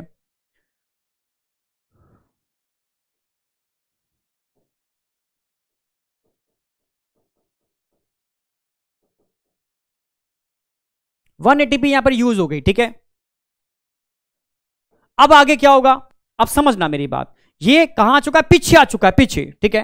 जब पीछे आएगा तो अभी देखना, ध्यान से देखोगे तो समझ में आएगा कि यहाँ पर भी लेवल में किसी की स्लाइडिंग नहीं हुई, बस उठा करके पीछे कर दिया उसको। जब पीछे करेंगे तो अब स्लाइडिंग स्टार्ट होगी। स्लाइडिंग स्टार्ट होगी यानी फ्लामेंट ये एक्टिन फ्लामेंट आगे आएगा, ना कि मायोसिन आगे आ रहा है, ठीक है? तो जब आप इसको पीछे लेके जाओगे, पीछे लेके जाओगे, अब यहाँ बाइंड कर दिया, अब ये तो आगे तो आएगा। जब आगे आएगा तो किसको लेकर के आएगा? ये एक्टिन फ्लामेंट को आगे लेके आएगा। नहीं एक्टिन फ्लामेंट स्लाइड करेगा मायोसिन के ऊपर, ठीक है? तो जब एक्टिन फिलाम यानी आगे आ रहा है, जब आगे आ रहा है तो एक्टिन फिलामेंट मूव करेगा मायोसिन के ऊपर। तो जब एक्टिन फिलामेंट मायोसिन के ऊपर मूव करेगा, उस ड्यूरेशन में, उस दौरान बेटा, जो एटी पेस था, वो हाई एनर्जी फॉस्फेट लेगा एडेनोसिन डाइफॉस्फेट से जोड़ेगा और अगेन एडेनोसिन ट्राइफॉस्फेट बना देगा। देखो तो यहाँ पर एडेनोसिन डाइफॉस्फेट में हाई एनर्जी फॉस्फेट जुड़ रहा है बेटा और अगेन एडनोसिन ट्राइफॉस्फेट का फॉर्मेशन हो रहा है। यानी यहाँ से यहाँ तक जो मैकेनिज्म हो रही है इसमें लोडिंग ऑफ़ या फॉर्मेशन ऑफ़ वन एटीपी तो वन एटीपी फॉर्मेशन भाई लोडिंग हाई एनर्जी फॉस्फेट कहाँ से आया? अभी बताया मैंने क्रिटिन फॉस्फेट से आया। ठीक है, उसने हाई एनर्जी फॉस्फेट रिलीज़ किया। और बताया था यहाँ पर एटी पेज तो लगा ही था। भाई एटी पेज एंजाइम तो यहाँ था ही ना ऑलरेडी यहाँ पर था ए टी पेज इस एटी पेज एंजाइम ने क्या कर दिया? एल्ड्रोसिन डाइफॉस्फेट में फॉस्फेट को जोड़ करके अगेन एटीपी का फॉर्मेशन कर दिया। यानी अब यहाँ से थोड़ा पीछे ले गए, आगे आया, फिर अगेन एटीपी जुड़ गई, फिर पीछे ले गए, फिर यहाँ गया, फिर पीछे गए। तो हर स्टेप पर सिंगल सिंगल एटीपी यूज़ होती जाएगी और फिलामेंट धीरे धीरे मायोसिन के ऊपर स्लाइड होता जाएगा। एक्टिन फिलामेंट तो ये मैकेनिज्म बताओ, समझ में आई या नहीं आई? ये सुपर मैकेनिज्म है। कि यहाँ से यहाँ तक सिंगल एटीपी का यूटिलाइजेशन हो रहा है और यहाँ से यहाँ तक again loading of one ATP हो रही है with the help of ATPase ठीक है? तो मान लो ये स्प्रिंग की तरह वर्क करेगा मायोसिन का हेड यहाँ से तोड़ करके पीछे खींचोगे वन एटीपी के यूटिलाइजेशन आगे। फिर तोड़ करके फिर पीछे खींचोगे वन एटीपी का यूटिलाइजेशन आगे। तो धीरे धीरे क्या होता है? हर स्टेप पर सिंगल एटीपी यूज़ हो रही है और अगले हाफ़ स्टेप के अंदर सिंगल एटीपी का लोडिंग हो रही है, ठीक है? फॉर्मेशन हो रहा है with the help of ATPase with the help of creatine phosphate ठीक है? और कंटिन्यू ये मैकेनिज्म रन होती जा रही है और धीरे धीरे एक्टिन फिलामेंट स्लाइड करते जा रहे हैं मायोसिन के ऊपर, जिसमें आई बैंड रिड्यूज हो रहा है लेंथ ऑफ़ सार्कोमियर रिड्यूज हो रही है ए बैंड पर कोई इफ़ेक्ट नहीं आ रहा ओवरलिपिंग वाला पार्ट बढ़ता जा रहा है non overlapping Z non overlapping H zone reduce होती जा रही है एम लाइन फाइनली डिसअपियर हो जाएगी। ये हो गई कंप्लीट मैकेनिज्म न्यूरोमस्कुलर जंक्शन से फाइनल कॉन्ट्रैक्शन तक।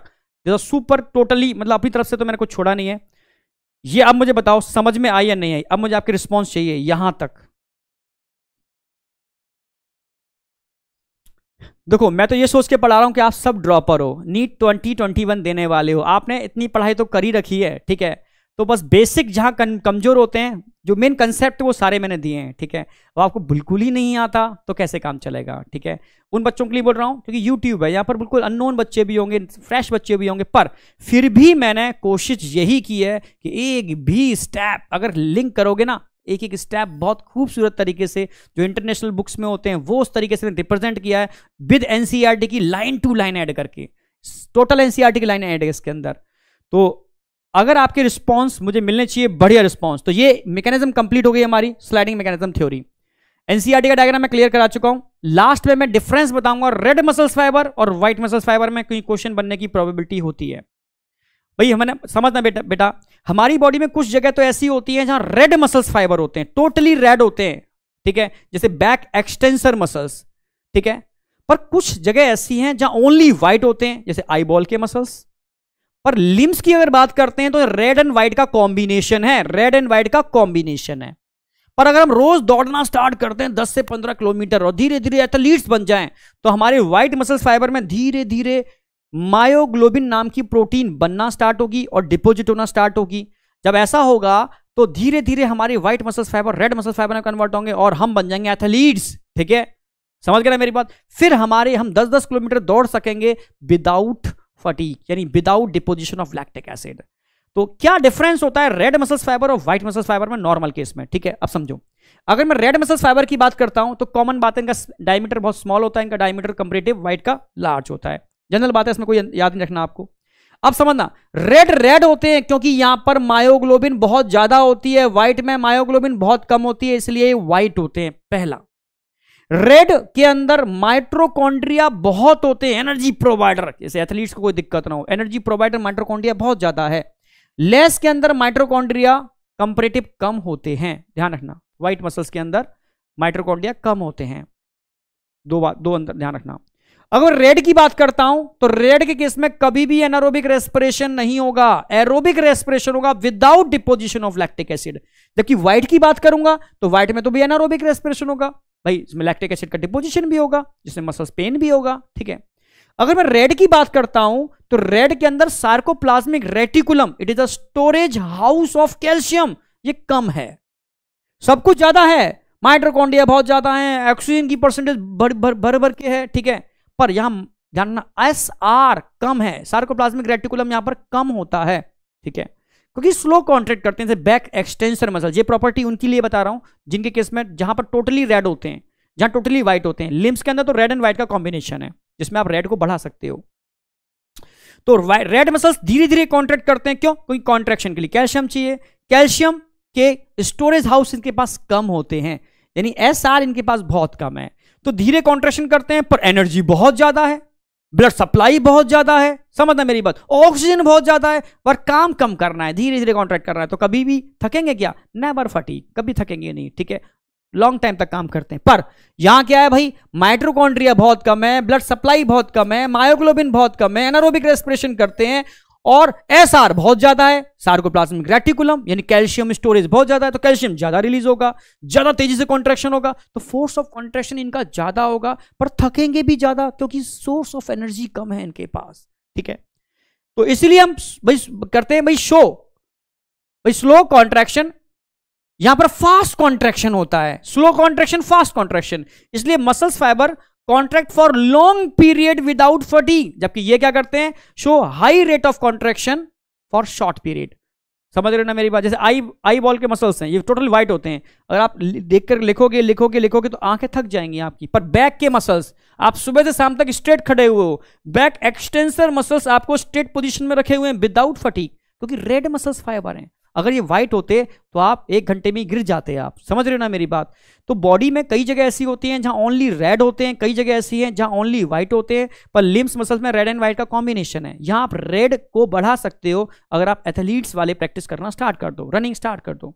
तो एग्ज़ाम्पल अगर मैं बात करता हूँ व्हाइट की eyeball muscles white white muscles of chicken breast इसके अलावा फ़्लाइट मसल्स ऑफ़ स्पैरो ये टोटली व्हाइट होते हैं। अगर मैं रेड की बात करता हूँ बैक एक्सटेंशन मसल्स बताई दिए मैंने red meat of chicken leg and thigh तो वो अक्सर को लोग खाते भी इसीलिए। And flight muscles of kite लंबी दूरी लंबी दूरी की उड़ान भरते हैं। धीरे धीरे लंबी उड़ी क्योंकि विदाउट फटी क्योंकि यहाँ पर रेड मसल्स फाइबर होते हैं काइट के अंदर। तो ये वो एग्ज़ाम्पल है। आपको बस ध्यान क्या रखना है, अगर रेड मसल्स फाइबर हैं तो बस रेड के केस में मायोग्लोबिन ज़्यादा है। माइट्रोकोन्डिया बहुत ज़्यादा है ब्लड सप्लाई बहुत ज़्यादा है, समझ रहे हो? पर एस आर कम है स्लो कॉन्ट्रैक्शन होगा, इसलिए लॉन्ग ड्यूरेशन तक स्लोली कॉन्ट्रैक्ट करते रहेंगे। व्हाइट के अंदर, भाई एनर्जी सोर्स माइट्रोकॉन्ट्रिया कम है ब्लड सप्लाई कम है, ठीक है? इसलिए एनारोबिक रेस्पिरेशन होता है मायोग्लोबिन बहुत कम है लैक्टिक एसिड डिपोजिशन हो जाएगा, पर एस आर ज़्यादा है फास्ट कॉन्ट्रैक्शन होगा, पर शॉर्ट ड्यूरेशन के लिए होगा, इसलिए फटीक थकावट तुरंत आ जाएगी। तो ये कंसेप्ट समझ में आया होगा, मुझे लगता है। कोई डाउट नहीं होना चाहिए बेटा। रेड मसल्स फाइबर और व्हाइट मसल्स फाइबर में। अब लास्ट में आता है इसके अंदर डिसऑर्डर्स अगर मैं डिसऑर्डर्स की बात करता हूँ तो एनसीआरटी के डिसऑर्डर डिस्कस कर रहे हैं हम लोग। बहुत सुपर डिसऑर्डर है टिटेनी और मैं गारंटी देता हूँ, आप में से 90 परसेंट बच्चों को टिटेनी के बारे में पता ही नहीं है। ये पक्की बात है। 90 परसेंट बच्चों की मैं गारंटी देता हूँ ये वाली बात। रट्टा मार रखा है टिटेनी ठीक है, पर पता नहीं है टिटेनी के बारे में। अभी समझाता हूँ ये वाली बात में। Myasthenia gravis it is autoimmune disorder पहला क्वेश्चन आएगा, इसमें से ऑटोम्यून कौन सा है? इसमें से जेनेटिकली कौन सा है? तो myasthenia gravis is autoimmune disorder ठीक है? तो ऑटोम्यून क्यों है? आप समझ लो माइस्थीनिया ग्रेविस का केस समझाता हूँ आपको मैं। अगर मैं माइस्थीनिया ग्रेविस के केस की बात करता हूँ ऑटोम्यून क्यों है? ऑटोम्यून का मतलब है अपने हुए पराए। भाई न्यूरोमस्कुलर जंक्शन में ये तो होते हैं न्यूरॉन्स मोटर न्यूरॉन ये होते हैं मसल्स मसल्स में मैंने बताया था क्या होते हैं बेटा? इस तरीके से सोडियम चैनल्स होते हैं। यहाँ से न्यूरो रिलीज़ होते हैं। इनसे बाइंड करेंगे। तभी तो मैकेनिज्म, सोडियम एंटर करेंगे, तभी तो मैकेनिज्म आगे जाएगी। ये मैकेनिज्म होती है। तो अगर हमारे इन सोडियम चैनल, ठीक है? सोडियम चैनल सोडियम इन सोडियम चैनल के अंगेंस्ट अगर एंटीबॉडी का फॉर्मेशन हो जाए, formation of antibody against the sodium channel तो सोडियम चैनल डिजेनरेट कर जाएँगे। अगर सोडियम चैनल डिजेनरेट कर गए तो न्यूरो बाइंड कैसे करेगा? समझ रहे हो? धीरे धीरे डिजेनरेट अगर होना स्टार्ट हो जाएगा तो न्यूरो की हमें डोज देने पड़ेंगे ज़्यादा, ठीक है? ज़्यादा बाइंडिंग को, ठीक है? तो ध्यान रखना न्यूरो की बाइंडिंग नहीं हो पाएगी और बाइंडिंग नहीं हो पाएगी तो मसल्स कॉन्ट्रेक्शन नहीं होगा लाइक पैरालिसिस हो जाएगी। इसी को बोलते हैं माइस्थीनिया ग्राइविस जो कैसा डिसऑर्डर है? It is auto immune disorder क्योंकि अपने हुए पराए, अपने ही प्रोटीन के अंगेंस्ट अगर एंटीबॉडी का फॉर्मेशन हो जाता है, तब माइस्थीनिया ग्राइविस ऑटोम्यून डिसऑर्डर होता है, ठीक है? क्योंकि यहाँ पर एंटीबॉडी फॉर्मेशन होगा, किसके अंगेंस्ट अपने ही एंटीजन के अंगेंस्ट तो formation of antibody against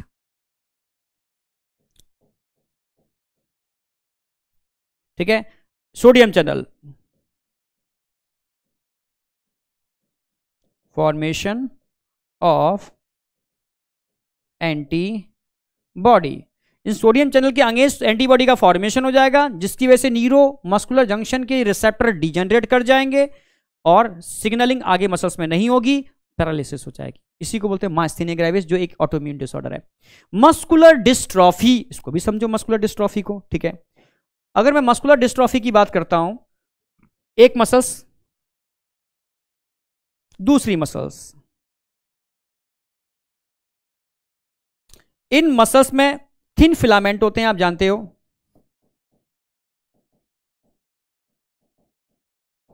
thin filament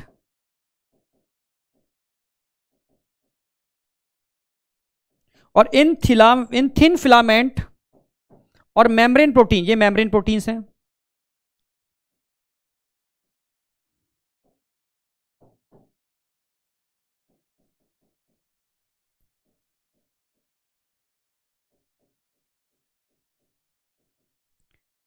membrane protein इन थिन फिलामेंट और मेम्ब्रेन प्रोटीन को जोड़ने के लिए थिन फिलामेंट दिखा देते हैं ऐसे थिन फिलामेंट दिखा देते हैं ऐसे इनको आपस में कनेक्ट करने के लिए बेटा, यहाँ एक खास टाइप के प्रोटीन्स होते हैं, ये प्रोटीन्स ये प्रोटीन्स इन प्रोटीन को बोलते हैं डिस्ट्रॉफिन प्रोटीन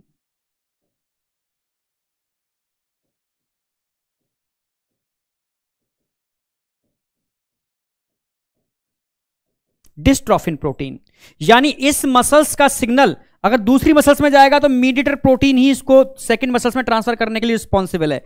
मींस अगर इस डिस्ट्रॉफिन प्रोटीन को बनाने वाले जीन भाई कोई जीन है? ये जीन इस डिस्ट्रॉफिन प्रोटीन को बनाएगा। अगर इस जीन के अंदर म्यूटेशन हो जाए तो ये प्रोटीन नहीं बनेगी। प्रोटीन नहीं बनेगी तो एक मसल्स का सिग्नल दूसरी मसल्स में नहीं जाएगा। जब सिग्नल नहीं जाएगा तो मसल्स में पैरालिसिस हो जाएगी। इसी को बोलते हैं muscular dystrophy due to mutation in ठीक है gene which responsible for formation of dystrophin protein ठीक है? तो ध्यान रखना है, अगर इस डिस्ट्रॉफिन प्रोटीन को बनाने वाले जीन में म्यूटेशन हो जाती है तो it is called genetical disorder muscular dystrophy progressive degeneration of skeletal muscles mostly due to genetic disorder due to genetic disorder तो ये जेनेटिक डिसऑर्डर है बेटा अगेन वो ऑटो इम्यून डिसऑर्डर था, या जेनेटिक डिसऑर्डर है। ये आपको समझ में क्लास में तो नहीं आता, ये सब इंटरनेशनल बुकों के पॉइंट पॉइंट्स हैं, तभी समझ पाओगे कि डिस्ट्रॉफिन प्रोटीन का काम क्या होता है? थिन फिलामेंट को मेम्ब्रेन प्रोटीन से जोड़ना, तभी तो सिग्नल ट्रांसफ़र होगा। थिन फिलामेंट से मेम्ब्रेन, इस मेम्ब्रेन से उस दूसरे मसल्स के अंदर।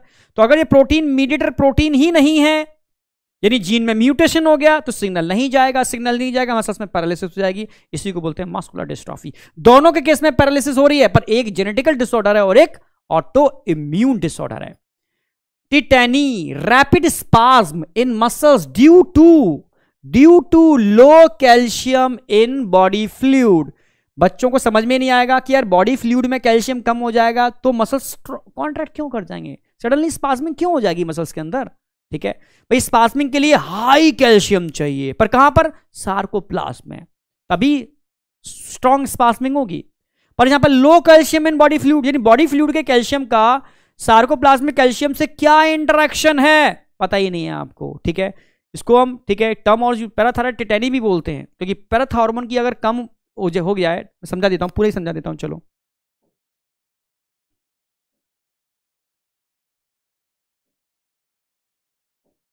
हम्म, ठीक है।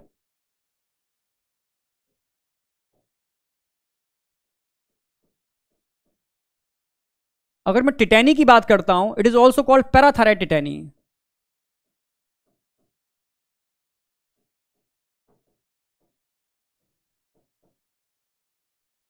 क्योंकि कहीं ना कहीं इसका संबंध पैराथायराइड हार्मोन से भी है। आगे मैं हार्मोन बताऊँगा अभी। अगर पी टी समझना। पैराथायराइड हार्मोन जो होता है कर, क्या करता है? Increase calcium ion in body fluid तभी तो कहते हैं अगर पीटीएच कम हो गया तो क्या हो जाएगा? Decrease calcium ion in body fluid और अगर कैल्शियम आयन बॉडी फ्लूड में डिक्रीज होगा तो किसको लीड करेगा? ये लीड करेगा टिटैनी चलो, ये बात समझ में आ गई कि पीटीएच पैरथ हार्मोन होता है, ये ब्लड कैल्शियम लेवल को बढ़ाने का काम करता है। अगर पीटीएच के अंदर कमी आ जाती है तो ब्लड कैल्शियम लेवल कम हो जाएगा और टिटैनी हो जाएगी। पर क्यों हो जाएगी टिटैनी भाई, कैल्शियम बॉडी फ्लूड में कम होने से टिटैनी का क्या इंटरेक्शन है क्या संबंध है बेटा? यही समझाना चाह रहा हूँ मैं आपको ठीक है? क्या इंटरेक्शन है क्या संबंध है? सम, समझना मेरी बात।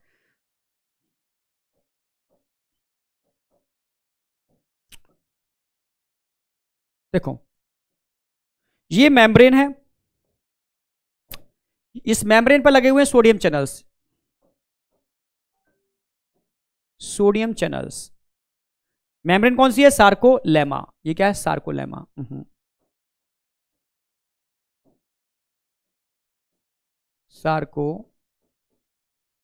sarcolemma. अब सार्कोलेमा पर जो सोडियम चैनल लगे होते हैं, यानी सार्कोलेमा को पोलराइज्ड रखने में, ठीक है? तो इस कैल्शियम का मेन रोल होता है, यानी ये मेम्ब्रेन पोलराइज स्टेट में पोलराइज स्टेट का मतलब बाहर पॉजिटिव चार्ज है, अंदर नेगेटिव चार्ज है।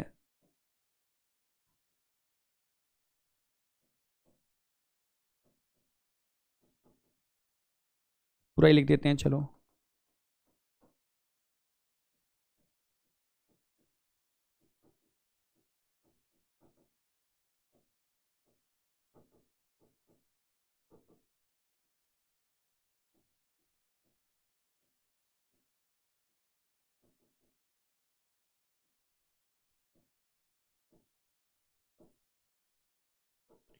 अब इस polarise polarisation maintain by sarcolemma का पोलराइजेशन जो है सार्कोलेमा का जो पोलराइजेशन है, वो कौन मेंटेन करता है?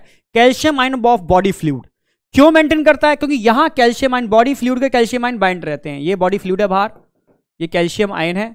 ये कैल्शियम आयन इसको बाइंड करके सोडियम चैनल को ऑफ़ करके रखते हैं, ठीक है? यानी इसको पोलराइज कंडीशन में रखते हैं। अगर कैल्शियम आयन कम हो गए तो क्या हो जाएगा? कंडीशन लिख रहा हूँ। टिटैनिक केस में? अगर कैल्शियम आयन कम हो गया बेटा तो मेम्ब्रेन बिकम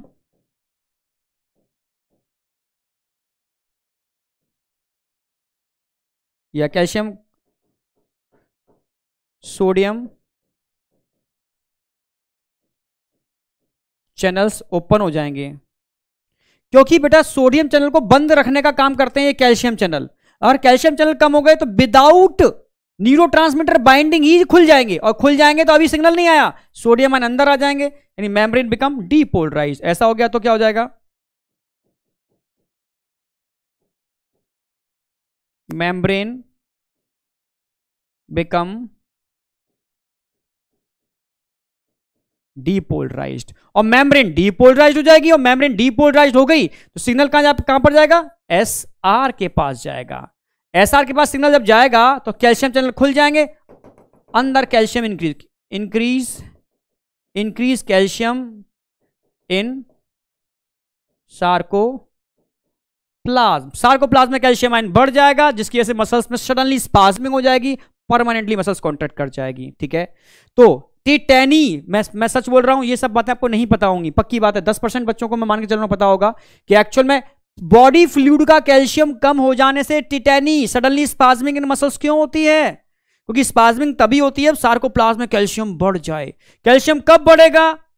जब कैल्शियम कम होगा। अगर कैल्शियम कम हो गया तो विदाउट न्यूरो बाइंडिंग ही चैनल खुल जाएँगे। कैल्शियम कम हो गया तो सोडियम अंदर आ जाएँगे membrane become depolarise again SR की मेम्ब्रेन भी डीपोलराइज हो जाएगी सार्कोप्लाज्मिक रेटिकुलम की कैल्शियम आयन बाहर आ जाएँगे कैल्शियम आयन बाहर आ जाएँगे टीपीसी से बाइंड करके परमानेंटली मसल्स को कॉन्ट्रैक्ट कर देंगे। This is called tetany due to low level of calcium in body fluid और अंदर कैल्शियम का लेवल क्या हो जाएगा? बढ़ जाएगा। इसी को बोलते हैं टिटैनी और इसके लिए कहीं ना कहीं रिस्पॉन्सिबल पैराथ हार्मोन भी होता है so it is called parathyroid tetany तो अब बताओ बेटा, समझ में आया या नहीं आया?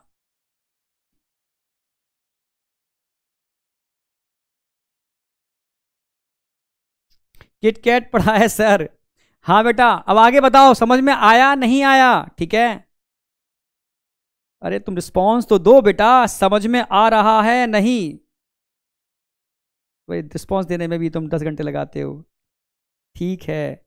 गॉट इट सर देखो, ये कंसेप्ट मैं समझ रहा हूँ, उन बच्चों के लिए जो कंसेप्चुअल ये एम्स की तैयारी करते हैं या सुपर रैंक की तैयारी करते हैं, ये हम उन्हीं बैचों में कराते हैं, पर भाई हम मान के चल रहे हैं ऑनलाइन में भी बहुत सारे बच्चे होंगे जो टॉपर्स हैं, ठीक है? उनके लिए ये कंसेप्ट है। बाद बाकी के बच्चों के लिए एनसीईआरटी e की वही लाइन क्योंकि बैच टू बैच हम वेरी करते हैं। जो लो बैच होते हैं, उनमें इतना नहीं पढ़ाते। उसमें तो हम बस बेसिक एनसीआरटी की लाइन टू लाइन पढ़ाते हैं। बैच का स्टैंडर्ड थोड़ा अच्छा है तो कुछ और बातें ऐड करते हैं। और सुपर जीनियस बच्चों का बैच है तो उसके लिए हम और सुपर जीनियस बातें ऐड करते हैं, जो टॉप रैंकर्स में काउंट की जाती हैं, ठीक है? तो हर बच्चे को तो हर चीज़ समझ में नहीं आ सकती, ठीक है? कोशिश पर हमने कोशिश यही रखी है कि हर बच्चे को एक एक कंसेप्ट मिले। आपकी, ठीक है, जो स्ट्रेंथ है, उसके हिसाब से आप गेन करना। एनसीआरटी मैंने एक एक लाइन टू लाइन करा दी है through diagram and flow diagram NCERT reading लगाओगे, एकदम इजी हो जाएगी। लगेगा नहीं कि एनसीआरटी को छूटे भी है आपकी। एनसीआरटी पूरी कंप्लीट है with concept with PY Q अब पीवाई क्यू में ऐड करता हूँ यहाँ पर, देखो, ठीक है। एम्स 2013 में आया हुआ क्वेश्चन है choose the correct one of the giving diagram correct one को आइडेंटिफाई करना है, ठीक है। और आपको दिख रहा होगा बी क्या है? जेड लाइन है, समझ में आ रही है आपको। सी क्या है? मायोसिन है, ठीक है। ये एच बैंड है, ये आई बैंड है, सब समझ में आ रहा है। एक्टिन फ्लामेंट है। देखो बी क्या है? बी बेटा जेड जेड लाइन है प्रोवाइड अटैचमेंट टू एक्टिन बिल्कुल सही। एक्टिन के अटैचमेंट के लिए प्रोवाइड करती है। ये तो पहले ही सही हो गया है तो। फिर भी देख लो। ए क्या है? ए ए बैंड है। एच बैंड है बेटा, गलत हो गया, यही गलत हो गया। और ड्यूरिंग कॉन्ट्रैक्शन गेट रिड्यूस यही यहाँ भी गलत हो गया। ठीक है, क्योंकि कॉन्ट्रैक्शन के टाइम पर रिड्यूस नहीं होता है, ये सेम रहता है। सी ट्रोपोनिन है। सी ट्रोपोनिन नहीं है बेटा ये तो क्या है? मायोसिन है, ये भी गलत हो गया। डी मायोसिन है डी का है डी डी डी एक्टिन है, ये भी गलत हो गया। समझ गए होगे कि कौन सा करेक्ट है और क्यों करेक्ट है? नेक्स्ट बेटा क्वेश्चन आपके सामने है। देखो कितने लोग लगा पाते हैं। क्वेश्चन आपके सामने है। Stimulation of muscles fibre by motor neuron motor neuron occur at कहाँ पर? एक्शन होता है न्यूरोमस्कुलर जंक्शन इसी को मोटर एंड प्लेट भी बोलते हैं, ठीक है? मोटर एंड प्लेट अच्छा एक सुपर कंसेप्ट बताऊँ मोटर एंड प्लेट ठीक है? और मोटर यूनिट में अंतर क्या होता है? Motor end plate end motor unit ये भी एम्स वाला स्टैंडर्ड है, ठीक है? चलो खैर, फिर तुम कहोगे बहुत ज़्यादा निकल गया आके छोड़ो। Stimulation of a muscles fibre by motor neuron occur at कहाँ पर होता है? हाँ बिल्कुल सही, बहुत सही, मैक्सिमम बच्चों ने वन ही लगाया। Neuromuscular junction it is also called motor end plate पर इसको मोटर यूनिट नहीं बोलते। इसको मोटर यूनिट नहीं बोलते मोटर एंड प्लेट बोलते हैं। चलो। The type of muscles present in our upper arms are smooth muscles fibre भाई स्मूथ नहीं होते हैं स्केटल मसल्स होते हैं। रॉन्ग हो गया। Heart are involuntary and unstriated smooth muscles ठीक है अनस्ट्राइटेड नहीं होते स्ट्राइटेड मसल्स होते हैं। इनमें भी लाइट एंड डार्क बैंड होते हैं। गलत। Intestine are striated and involuntary वही स्ट्राइटेड नहीं होते अनस्ट्राइटेड होते हैं, ठीक है? Thigh are striated and voluntary yes thigh muscles के स्केटल मसल्स हैं स्ट्राइटेड मसल्स हैं लाइट एंड डार्क बैंड मिलते हैं वॉलेंट्री हैं fourth option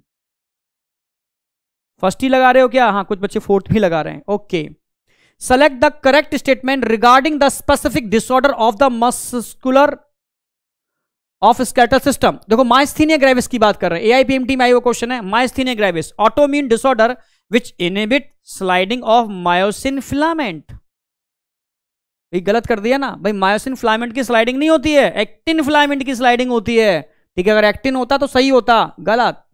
Gout inflammation of joint due to extra deposition of calcium समझाया था मैंने gout gouty arthritis last lecture के अंदर समझाया था मैंने, गाउ एक्सक्रीटरी सिस्टम के अंदर। Gouty arthritis due to deposition of ठीक है लैक्टिक एसिड क्रिस्टल्स ठीक है, बताया भी था मैंने आपको कि क्रिस्टल के डिपोजिट हो जाने की वजह से, ठीक है, कि अगर आप प्यूरिन ज़्यादा खाते हो, ठीक है तो प्यूरिन ज़्यादा खाने से, ठीक है सॉरी लैक्टिक एसिड बोल गया यूरिक एसिड यूरिक एसिड के क्रिस्टल का फॉर्मेशन होता है और यूरिक एसिड के क्रिस्टल आपके ज्वाइंट में डिपोजिट होकर के इन्फ्लामेशन क्रिएट करते हैं, इसी को गाउटी अर्थराइटिस बोलते हैं। Inflammation of joint due to excessive deposition of calcium, गलत। यूरिक एसिड, ठीक है। Crystal of uric acid. Muscular dystrophy, age related disorder. Shortening of muscles, decrease in ना बेटा, एज रिलेटेड ये नहीं है। एज रिलेटेड कौन सा होता है? ऑस्टियोपोरोसिस। क्योंकि आपको पता है कि जैसे जैसे एज बढ़ती जाती है, फीमेल्स के अंदर एस्ट्रोजन का लेवल कम होता जाता है। आफ्टर मेनोपॉज, एस्ट्रोजन गायब हो जाता है। क्यों? क्योंकि सारे ओवा डी जनरेट कर जाते हैं। और तब फीमेल को एक ही डिसऑर्डर का सामना करना पड़ता है ऑस्टियोपोरोसिस क्योंकि एस्ट्रोजन का लेवल कम होते ही एक सेल्स होते हैं ऑस्टियोक्लास्ट मैक्रोफेस सेल जो बोन को खाते हैं। वो हैपर हो जाते हैं। पूरी ज़िंदगी इन ऑस्टियोक्लास्ट को एस्ट्रोजन सप्रेस करके रखता है। जैसे ही एस्ट्रोजन कम ऑस्टियोक्लास्ट हाइपर ऑस्टियोपोरोसिस उन फीमेल्स को बहुत कॉमन हो जाता है। तो एज बढ़ने के साथ फीमेल को ऑस्टियोपोरोसिस बहुत कॉमन हो जाता है बोन का वीक हो जाना डेंसिटी कम हो जाना due to hyposecretion of estrogen estrogen female को ऑस्टियोपोरोसिस से प्रोटेक्ट करके रखता है। तो disorder higher chance of fracture with advancing age बिल्कुल सही। ऑस्टियोपोरोसिस के केस में एज बढ़ने के साथ साथ एडवांसिंग एज के साथ साथ ठीक है फ्रैक्चर की प्रोबेबिलिटी बढ़ जाती है। Sliding filament theory can be best explained as A I P M D two thousand ठीक है fifteen actin and myosin filament shorten भाई कोई भी शॉर्ट नहीं होता, पहले समझा दिया मैंने. Actin and myosin filament do not shorten but rather slide pass each other हाँ यार, ये तो ठीक है. When myofilament slide pass each other myosin filament shorten वही शॉर्ट नहीं होंगे. When myofilament slide pass each other actin filament ये भी शॉर्ट नहीं होंगे. कोई भी शॉर्ट नहीं होता. एक्टिन और मायोसिन किसी भी फ्लामेंट की शॉर्टिंग नहीं होती। दोनों की स्लाइडिंग होती है और वो भी मायोसिन स्टेबल होता है। एक्टिन की स्लाइडिंग होती है मायोसिन के ऊपर अकॉर्डिंग टू दिस थ्योरी ठीक है इंटरकैलेटेड डिस्क भाई इंटरकैलेटेड डिस्क मैंने आपको कार्डिक मसल्स में बताया था टिश्यू वाले चैप्टर के अंदर, ठीक है? तो हार्ट के अंदर इंटरकैलेटेड डिस्क होती है। ध्यान रखना है आपको। अब देखो, वही डायग्राम आ गया, जो एनसीआरटी में दे रखा है। आप समझ गए होगे, ये क्या दे रखा है उन्होंने? ए ए क्या है? फैसिकल्स ठीक है? ए क्या दे रखा है उन्होंने? फैसिकल्स दे रखे हैं, ठीक है?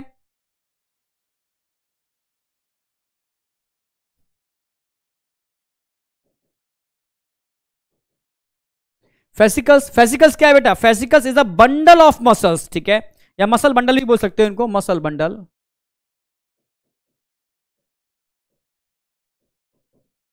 ठीक है? बी क्या दे रखा है? बी क्या है बेटा? यहाँ बी ठीक है? बी है मसल फाइबर या मसल सेल भी बोल सकते हो इनको मसल सेल और सी क्या दे रखा है? सी आप जानते हो सार्को लेमा अब मैच कर लो। कौन सा क्या दे रखा है? ए मसल्स ना मसल बंडल ठीक है muscle bundle muscle cell B, muscle cell ठीक है। सार्को लेमा ठीक है सेकंड ठीक है। थर्ड भी देख लो। मसल बंडल फेसिकल फेसिकल ठीक है। मसल फाइबर ठीक है, बी मसल फाइबर, वही मसल फाइबर, मसल सेल एक ही बात होती है। और मसल बंडल और फेसिकल एक ही बात होती है, और पर मायोफाइब्रिल नहीं है रॉन्ग हो गया। मसल बंडल, मायोफाइब्रिल, ये भी रॉन्ग हो गया। ओनली सेकंड वाला करेक्ट होगा, इसके अंदर ध्यान रखना। ऐसे ये कंफ्यूजन वाला है पॉइंट ध्यान रखना, बच्चे कंफ्यूज हो जाते हैं। मसल बंडल फेसिकल एक ही बात होती है मसल सेल मसल फाइबर एक ही बात होती है। ATPase enzyme need for muscles contraction is located कहाँ पर लोकेट होता है? एटीपेज बताया था मैंने। भाई ग्लोब्यूलर हेड पर मायोसिन के ग्लोब्यूलर हेड पर लगा होता है एडीपेज ठीक है? तो ATPase enzyme need for muscles contraction is located in myosin के हेड पर लगा होता है एडीपेज मायोसिन डायग्रामेटिकली समझा दिया मैंने उसको। Which ions are responsible for muscles contraction बताया था आइन्स की बात आएगी तो मैग्नीशियम आइन एडीपीएस के लिए रिक्वायर्ड होते हैं और कैल्शियम आइन टीपीसी से बाइंडने के लिए रिक्वायर्ड होते हैं।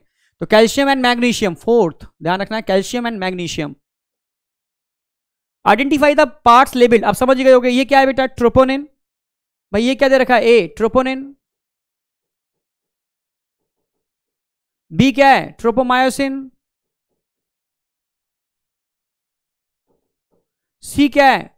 Actin F actin filamentous actin भाई, ये तो पता ही है, आपको ढूंढ लो आप। Troponin tropomyosin F actin fourth वाला ऑप्शन आ जाएगा।